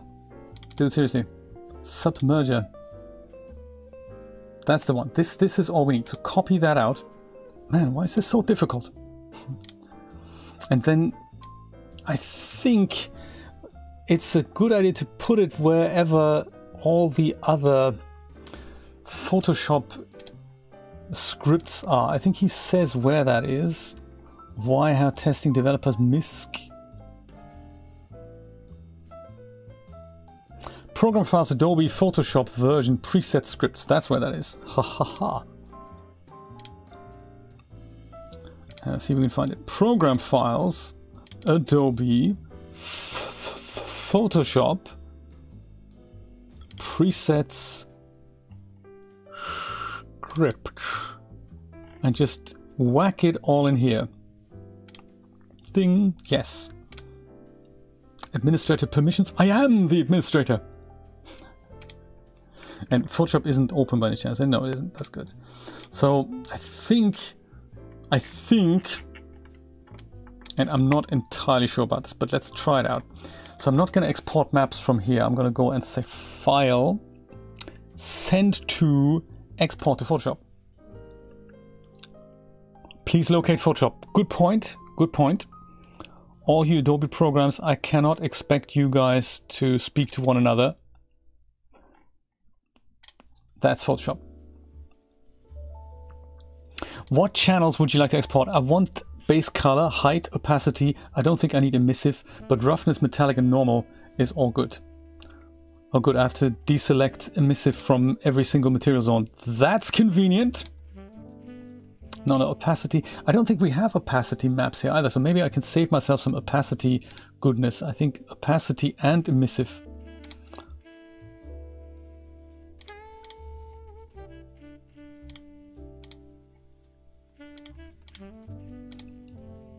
I'm sure it'll have forgotten by the time it comes to exporting the maps again.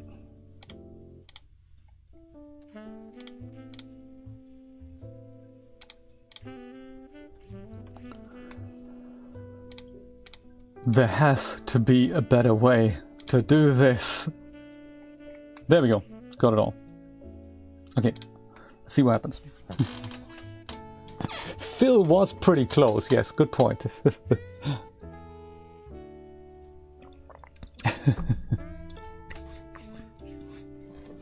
How to edit maps and textures. I don't have a tutorial on that, no. But if you keep watching, I will I will show you how, how to do it because I want to redo the stitches in Clip Studio Paint. So it's it's going to be, let's see if we can export this in principle and get the workflow going into DAZ Studio. And if that works, we'll go and take a look at uh, essentially adding something to these textures. In a nutshell, while this is doodling here, in a nutshell, you would go and take the UV template. If you want, you are you do you thinking are you thinking of doing this in a 2D program? So in a nutshell, you would go and take the UV template out and then select the parts that need to be a certain color or a certain texture and you just paint those parts in. The trouble with doing that is that you don't really see the 3D object at the same time. So in order to uh, to do that, you'd have to go and uh, set up your maps, set them up as uh, as the as the correct channels in in your in your rendering program, and then do something, go and refresh those maps and look at it in your 3D application. So it's a very cumbersome process to work that way. Uh, but technically it can be done. If it's just for flood fills or if it's just for small embellishments, it is, it is possible to do that.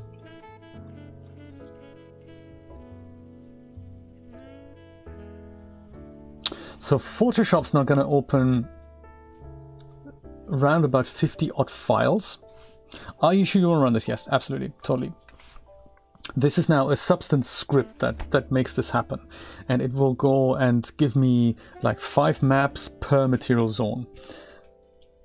And I could set this up in DAZ Studio, but it would mean that the sandals, when they load in, there's about 60 um, maps that need to be loaded, and that's just, just total overkill.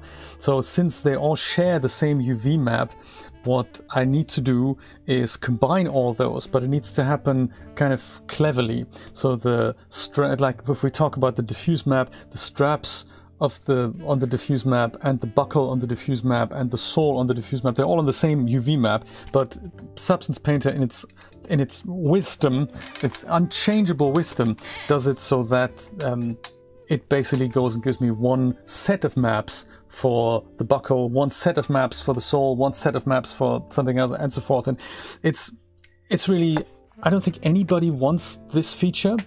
And I think Adobe or slash the Substance Crew, they, they don't really want to change it because I know they're all hip and trendy and stuff. And nobody would want this feature. If you have something that shares a UV map, you want all the maps combined. Everyone wants this feature, except for Adobe, of course. So, which is a, a small problem. But this is why where this Comphonia guy said, "Hey, um, I can't change what they're doing in Substance Painter, but what I can do is how we deal with this in Photoshop. So he's a coder, I think, by trade. And if you have Photoshop, you can just export all the maps like this. So Photoshop now loads them all up. And his script apparently combines them all together. Let's see.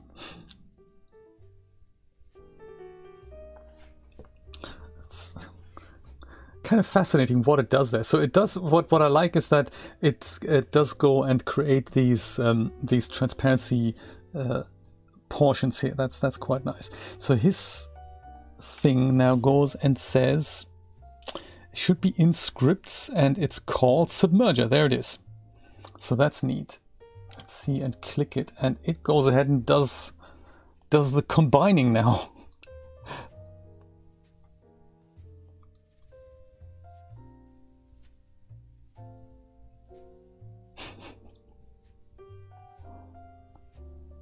I hope. Should it still be working? Is it done already? Because I can't tell. Are you are you done? Are you still working? That can't have been everything. And this isn't the diffuse map either. There's gotta be there's gotta be other things in here that it's not gonna work, is it?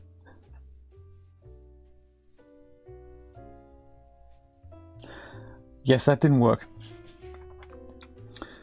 because is this isn't combined either. This is basically nothing. I don't even know why we have that. This is also completely empty. Why did we export stuff that is empty? So none of this makes any sense whatsoever. I have a feeling I'm going to have to go and do this manually. Uh, sadly, there's no script that does this. So this is why it's so unbelievably important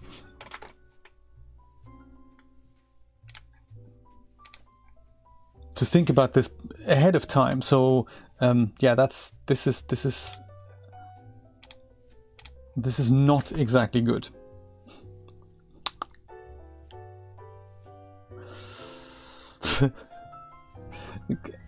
Dang. Hmm?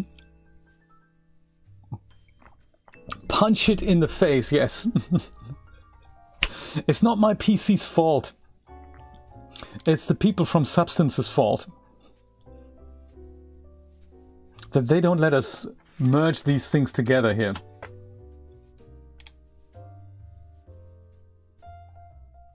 Reassign texture sets. Ooh, what does that do? Before we do anything, let's go and save it. But what what happens if we go, should we do that? Should we assign everything to something else? Reassign, what does that do?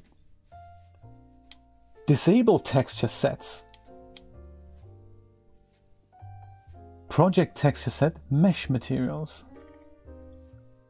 Drag and drop texture sets to reassign them to the mesh materials. Is this what we're looking for?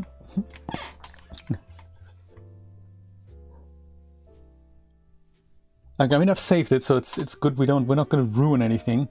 But if we say, I don't know, we say say the buckle is now the thing, do we, can we just put buckle on here? No, do we do this on here? Yeah, buckle is already on there. But how about buckle loop? Can we put that on here?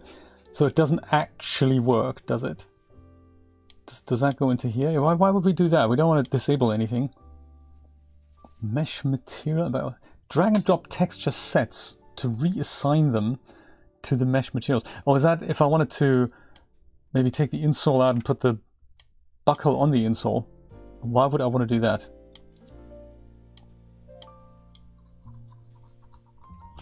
I was kind of hoping that we could just go and create a new whatever and then just go and assign all that there and then just export whatever because then everything is on there. But no, this is not how it works. Yes, contact your system administrator, that'll work. Oops, I was on the wrong button here.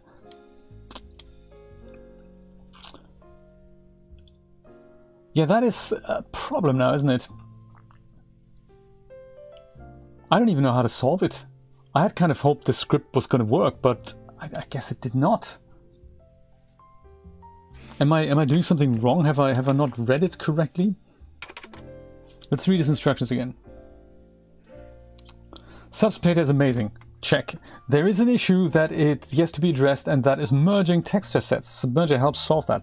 Although not a Substance Painter plugin, it is used in conjunction with the Export to Photoshop plugin already available in Substance Painter to help automate the process of merging textures. So what, what do we do? Download a copy, check from blah, export material sets to Photoshop using Export to Photoshop plugin. Choose materials you need. What does that mean? I suppose in the, yes, got you. In Photoshop, navigate to File, Scripts, Browse, select Merger. That's it. Navigate to your Substance Photoshop Exports folder to find your merged materials. I don't think I have that.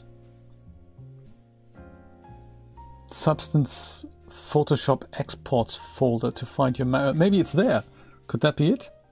It's ever so slightly vague. Where, where, might, where might that be now?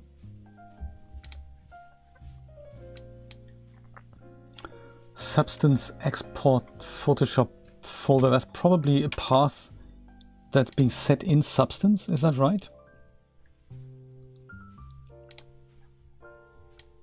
We're going to so totally figure this out. Cache directory is here. Temporary files also go in there. Uh, shortcuts, no. Libraries, uh, uh, uh, no, then.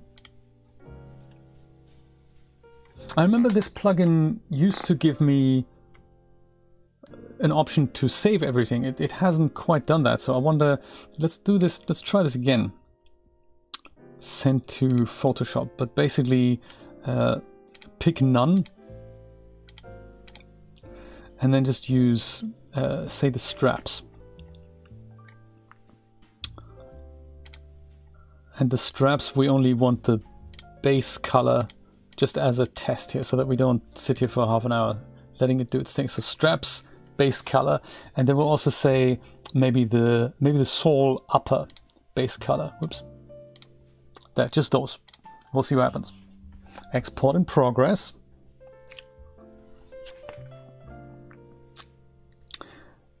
And we want to do that. So this is something that's called by Substance Painter to just open these things.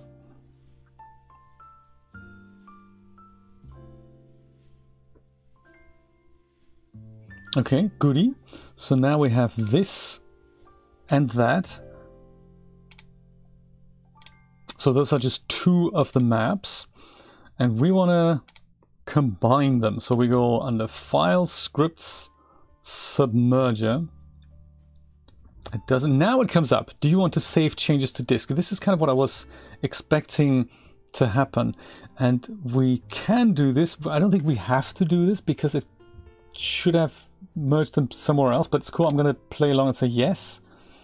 And then there it is. It's in Documents, Adobe Substance Painter Export Wedge. That's a memorable path. I wonder if we can, if there's a way to just, you know, change that. But this is how it's supposed to work. And then we have both these things on one map.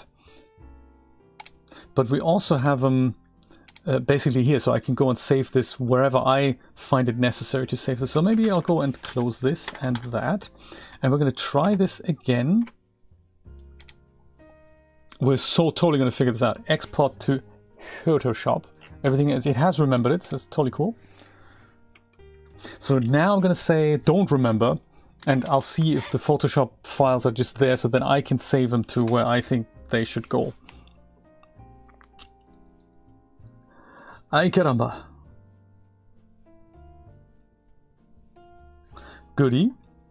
The file script submerger. It does that and I said don't save. I'm totally cool it not saving and there's everything. So that can be closed. And then this is my combined map. I think, boys and girls, we're getting somewhere. This is extremely exciting. So perhaps it was just too many maps that it was trying to export uh, before. So let's try this again, saved, sent to Photoshop. And let's say we use just maybe the base color of the things that we need. before we try it with multiple maps. So let's go and say, say base on all these things. It is still far from efficient, but I have a feeling maybe it was just... Maybe I've just I've just sent too many maps, that's possible. Let's do that. So what do we actually need? We need base, metallicity for the buckle for sure, and we need uh, height and normal, I think, and the roughness. So five maps. Five times 50 members is just a bit too much, but we'll, we'll try that again. We'll try that again. So this is just the base.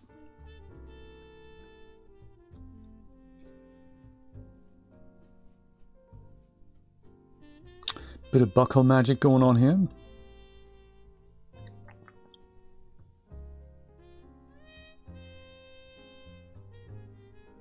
because there is also there is definitely merit in working with there's merit in working this way. Let's see I don't know if I need to be on a particular layer. I think I can just go on nope sorry that's not browse I meant to say file script submerger and there's no save dialog now which is I don't know maybe it's still working I don't know what's going on and I don't really have all my combined maps, I don't think. I just have a few.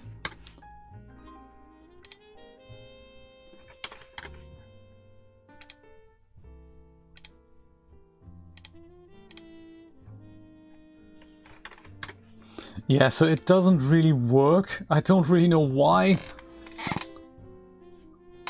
I can always try it again. Maybe I need to be on a specific layer, maybe on the first layer, could that be?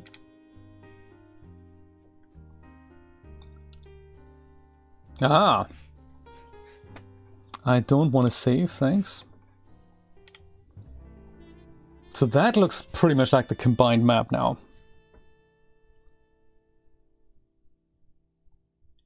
So it does work, but sometimes the script may just, you know, may, not, may just not do it properly. That could be.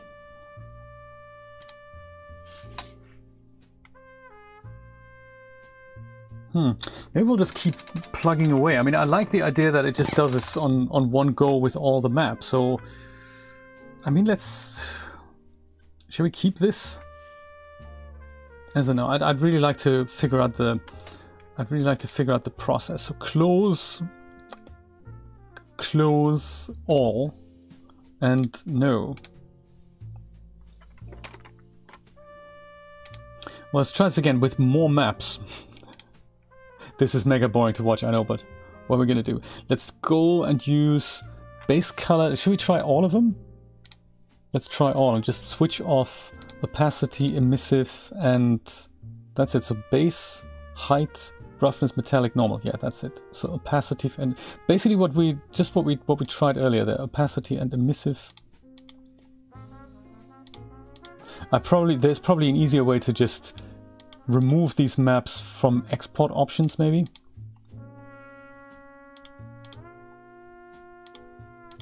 That'd be a way to speed up this so that we don't have to select this.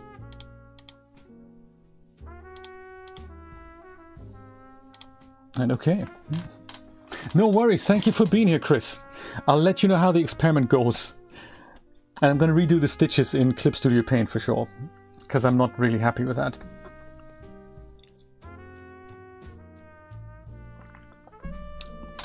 But hey, it's all good practice and all good fun.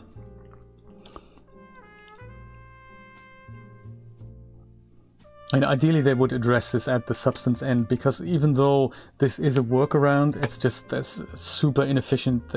It's just yeah, I think there should just be an option. Would you like to combine all maps on output? Yes, and then just go and do it. And if the UVs are not on the same space, then people who need this functionality, then they can still use that. But, you know, it's just... It should just be super easy to just line all up, all maps up and just, you know, it's just... I don't, really don't see a reason why it shouldn't, it shouldn't be possible. But some, some technical reason that I read about that it was just you know, very difficult to make that happen. Apply for an Epic grant and hire coders, that's what I say.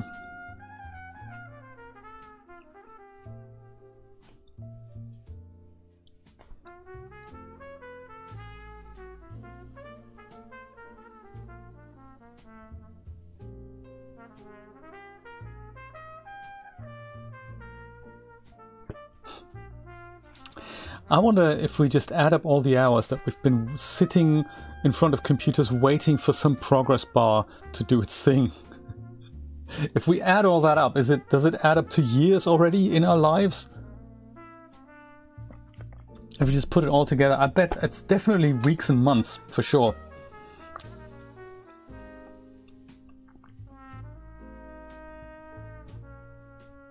Also, having to work this way, this isn't really feasible either if you had to... So imagine you work with 8k maps and you export 100 maps from Substance because it thinks that's that's the best workflow. That's just that's just rubbish for, mem for memory management. You know, what do I need? 4 terabytes of system RAM to just make that happen? It's crazy.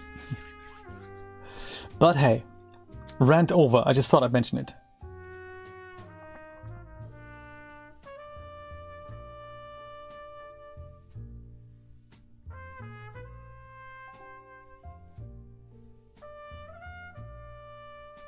Not to mention the time it takes to export and load all these things. Anyway. Don't add it up. No, absolutely. That's probably the best idea. Don't even think about it.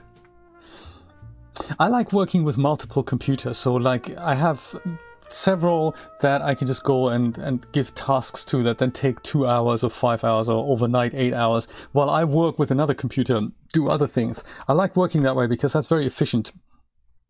I do like that.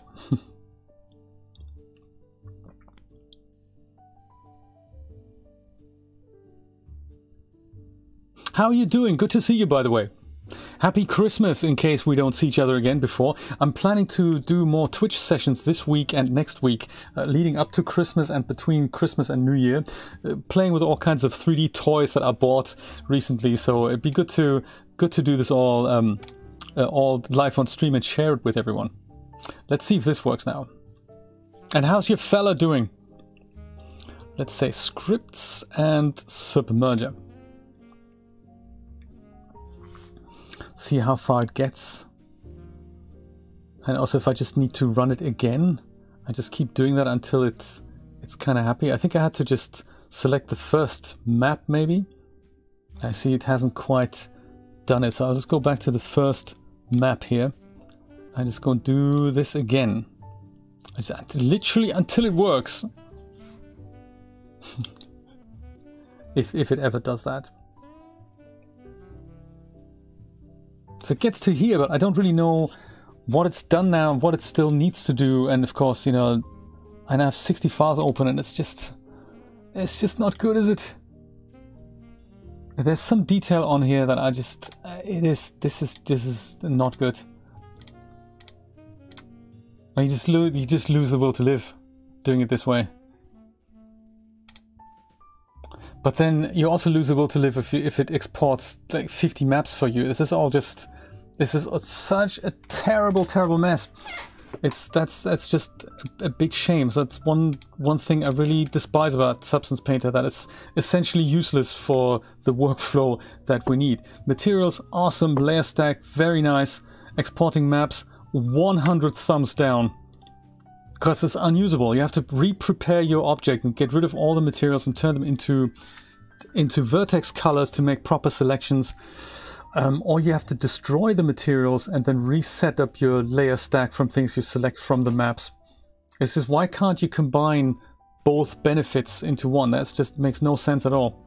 So I'd have to, it's, it's basically now comes down to, is it easier for me to start all over again and destroy all these materials and make my selections uh, based on one um, texture set and then make my selections based on the UV map? That's another possibility. But then the, the other problem that I then have is that I end up with a massive layer stack here for literally every material. And both these options are really messy. So this is, this is a good way to compartmentalize each material and each layer stack per material zone. Otherwise you have one massive stack that is just, you know, oh, man. You gotta go. No worries. Thank you, Pamela. Thank you for being here. Wonderful to see you.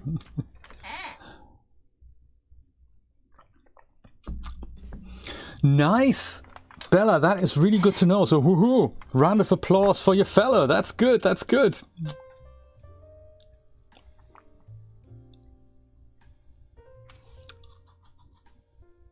Good to hear. Really good to hear.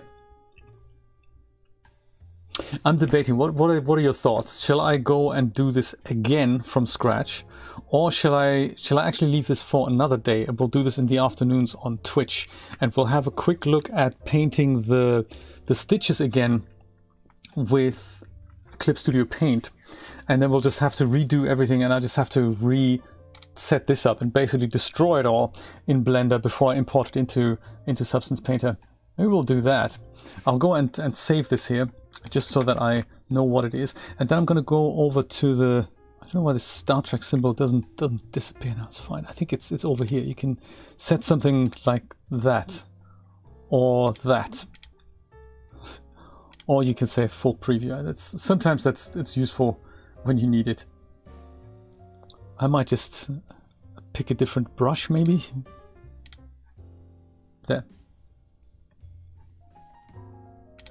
Or just put it to call like crosshair thing.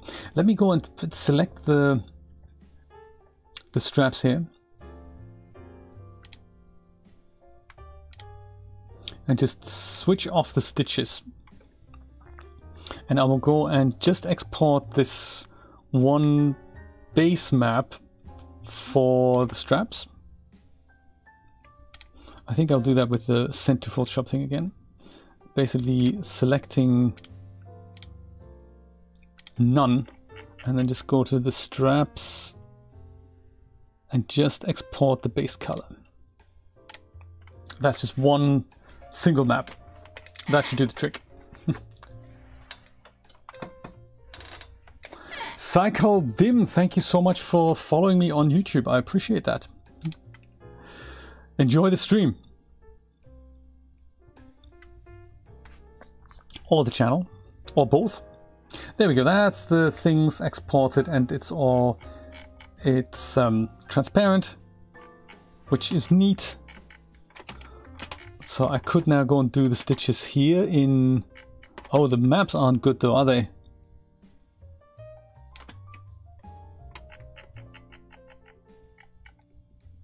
That looked much better in, uh, in Substance. Maybe I should use 4K maps instead. Maybe I'll do that. Maybe I'll do that. Let's change the document resolution to something better. Which, how do I do that again?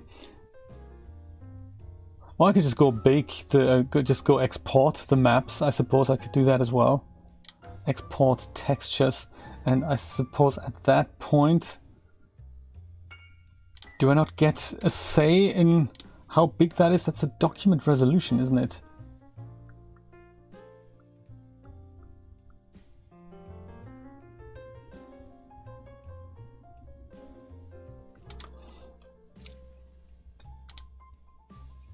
Is that under settings? Project configuration. That was it, wasn't it? Project configuration. No. Dang! Size. Absolutely, Bella. That is exactly why it didn't work out so well because Substance doesn't have that. So I had to do this by hand and that's a nightmare.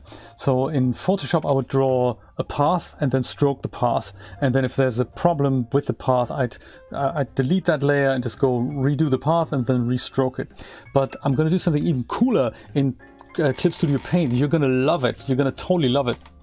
Let me see if I can export this out. Let's see if I, where was that?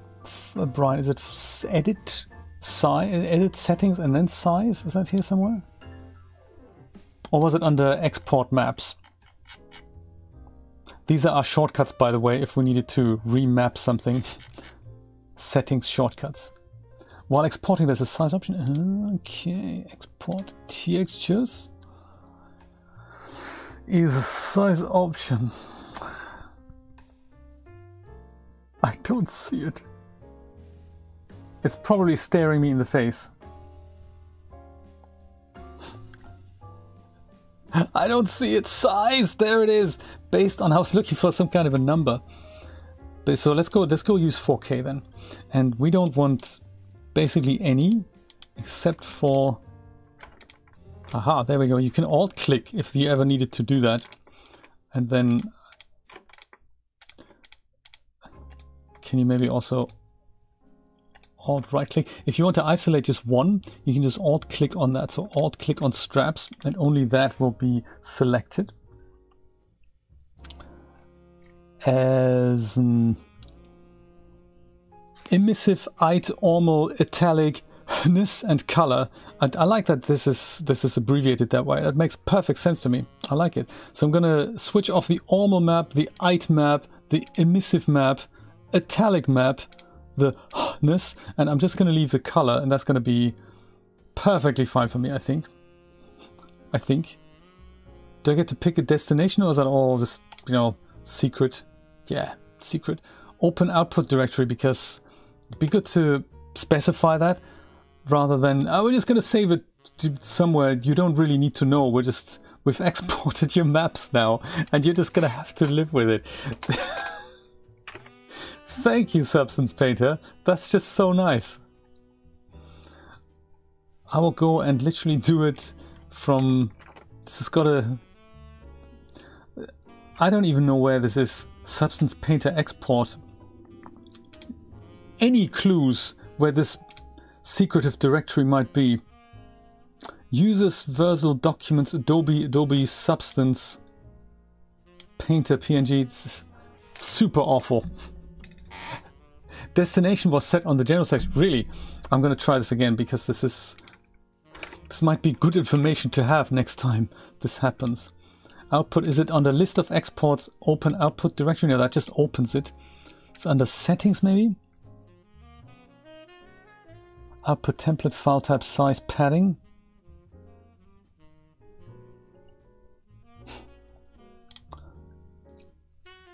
How to build a super unintuitive export dialog for beginners. I don't even see it. This is, can I set a thing for every map? I don't even see it, Brian.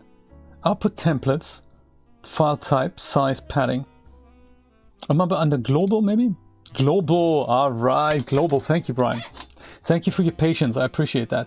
And there's also the size now. That's nice. Reset to default. Change default. How's that? Is that something we can we can do? Don't make the default some convoluted, really deep path that isn't applicable to anything. Bad that is. I'll put it into something called maps in my projects folder. There, maps. Ding.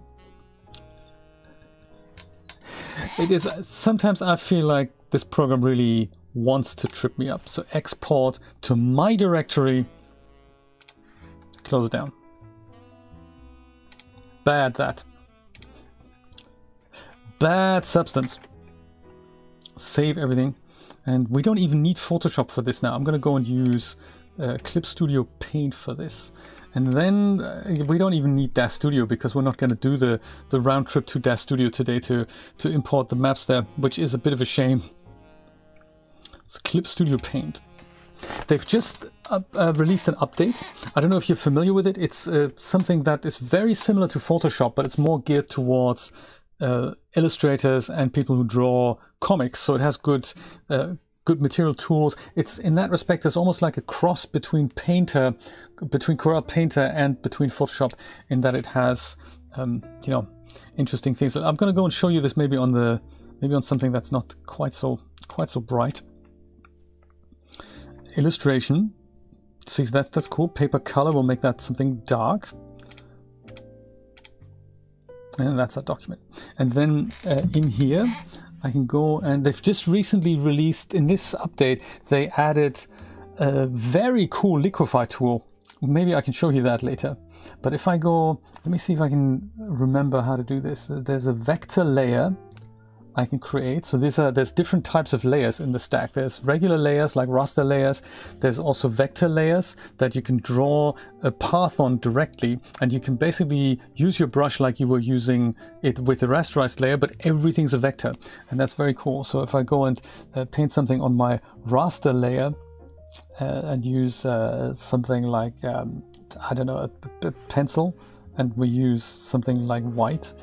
There we go. So that's a regular uh, raster layer, and as you zoom in, you can see it's getting pixelated and stuff. But if I go and do the same thing on a vector layer, on a vector layer, man. there. On a vector layer, then this is now actually a vector, and I can go and um, and move this around. So it, it looks like a regular brush stroke. Dude, seriously. Why are you doing this to me? Oh, come on. But this is now a vector path, and there's tools that you can use to uh, to display that. So the direct selection tool, I believe, selects that, and you can see it's a curve. And it's interesting, so I can go and move this now, but it being a curve, it can be uh, infinitely um, scaled. Dude, come on already. Not only that, it can also now be changed. So after I've put it on the canvas, I can go and do something with it. If only I remember the tool for this. It could be this. Yeah, that's not it.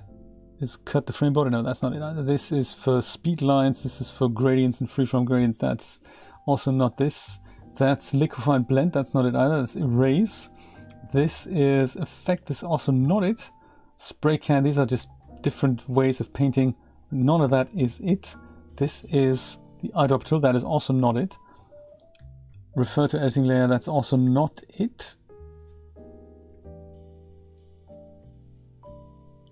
Where are these super exciting tools now that I can modify the vector path with? So you can um, you can basically redraw it. I will totally find it. Those are rulers. That's not it. That's not it either. It's fonts. That's that and flashy bits. And this is that. This, these are them here. So control point means I can go and literally left click and drag a point on the thing. I don't know why it does this. This is really not what I what I want.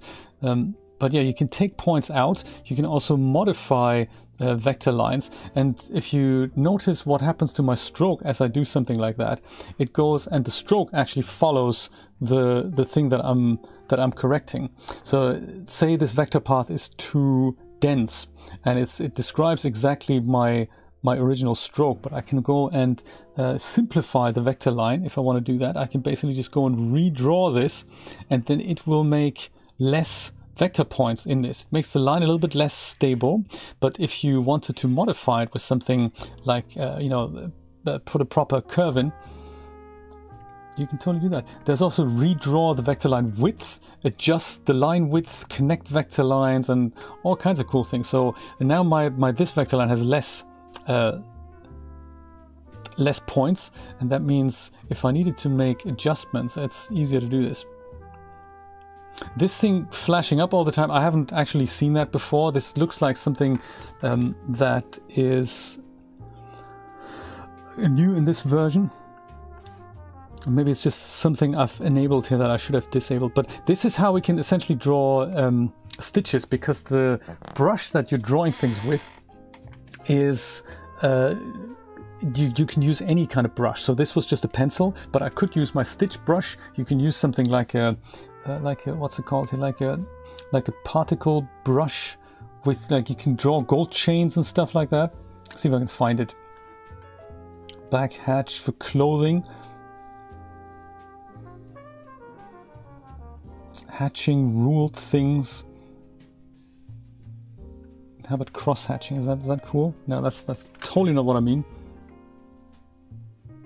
It's one of those programs that you can frequently get completely lost in. They have really cool features. This is a really nice program. I'm glad I bought this many years ago. Is this a good example? Yeah, you can draw flowers and they're all basically a vector line now that I can use uh, my my other funky little tool to uh, to utilize and move points in. And just change whatever my stroke was. So it's not. Uh, so I think this is this is kind of a, a very cool way, better way I think than than Photoshop does it in regards to you draw a path and then you stroke a path. I like the idea that you basically draw the path as if as if it's a as if it's something that you uh, that you draw with the brush and then you can change it afterwards. So this for my for my um, stitches this means if I do have a stitch brush, which I'm not entirely sure if I do here, but for my stitch brushes me stitch brush it means I can go and stroke it and then just correct it and make it follow the path as I'm as I'm working. So very cool. Cycle, hello, how you doing?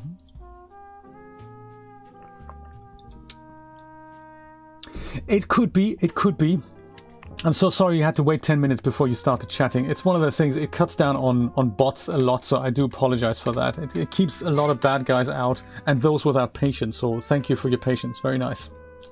Yes, I'm not entirely sure what that is about the um, the the uh, the maps. I might just get in touch with the developer of that script and just just bring that to his attention and say, in this case, what do I need to do in order to combine my maps? Because I've done it before and it works really well with less complex things and uh, probably also with maps that are less empty that could well be so i'll ask him for his uh, for his guidance and maybe we can you know we can work this out that'd be kind of cool let me see if I do have a stitch brush here. I don't think, I'm, I'm not sure if I do. I might have to make one and that might be too much for me because this it's not a program that I use all that often.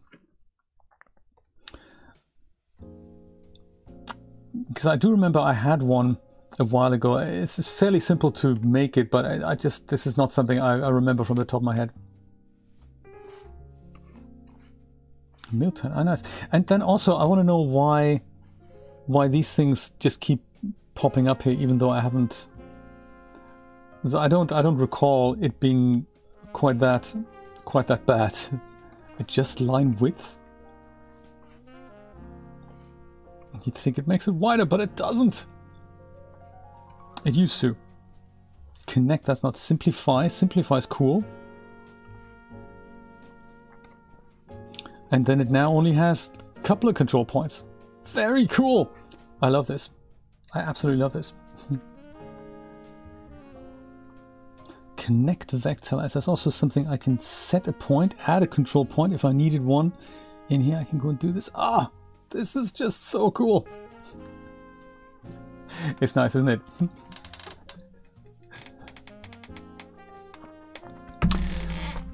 So, uh, no stitch brush. Dang.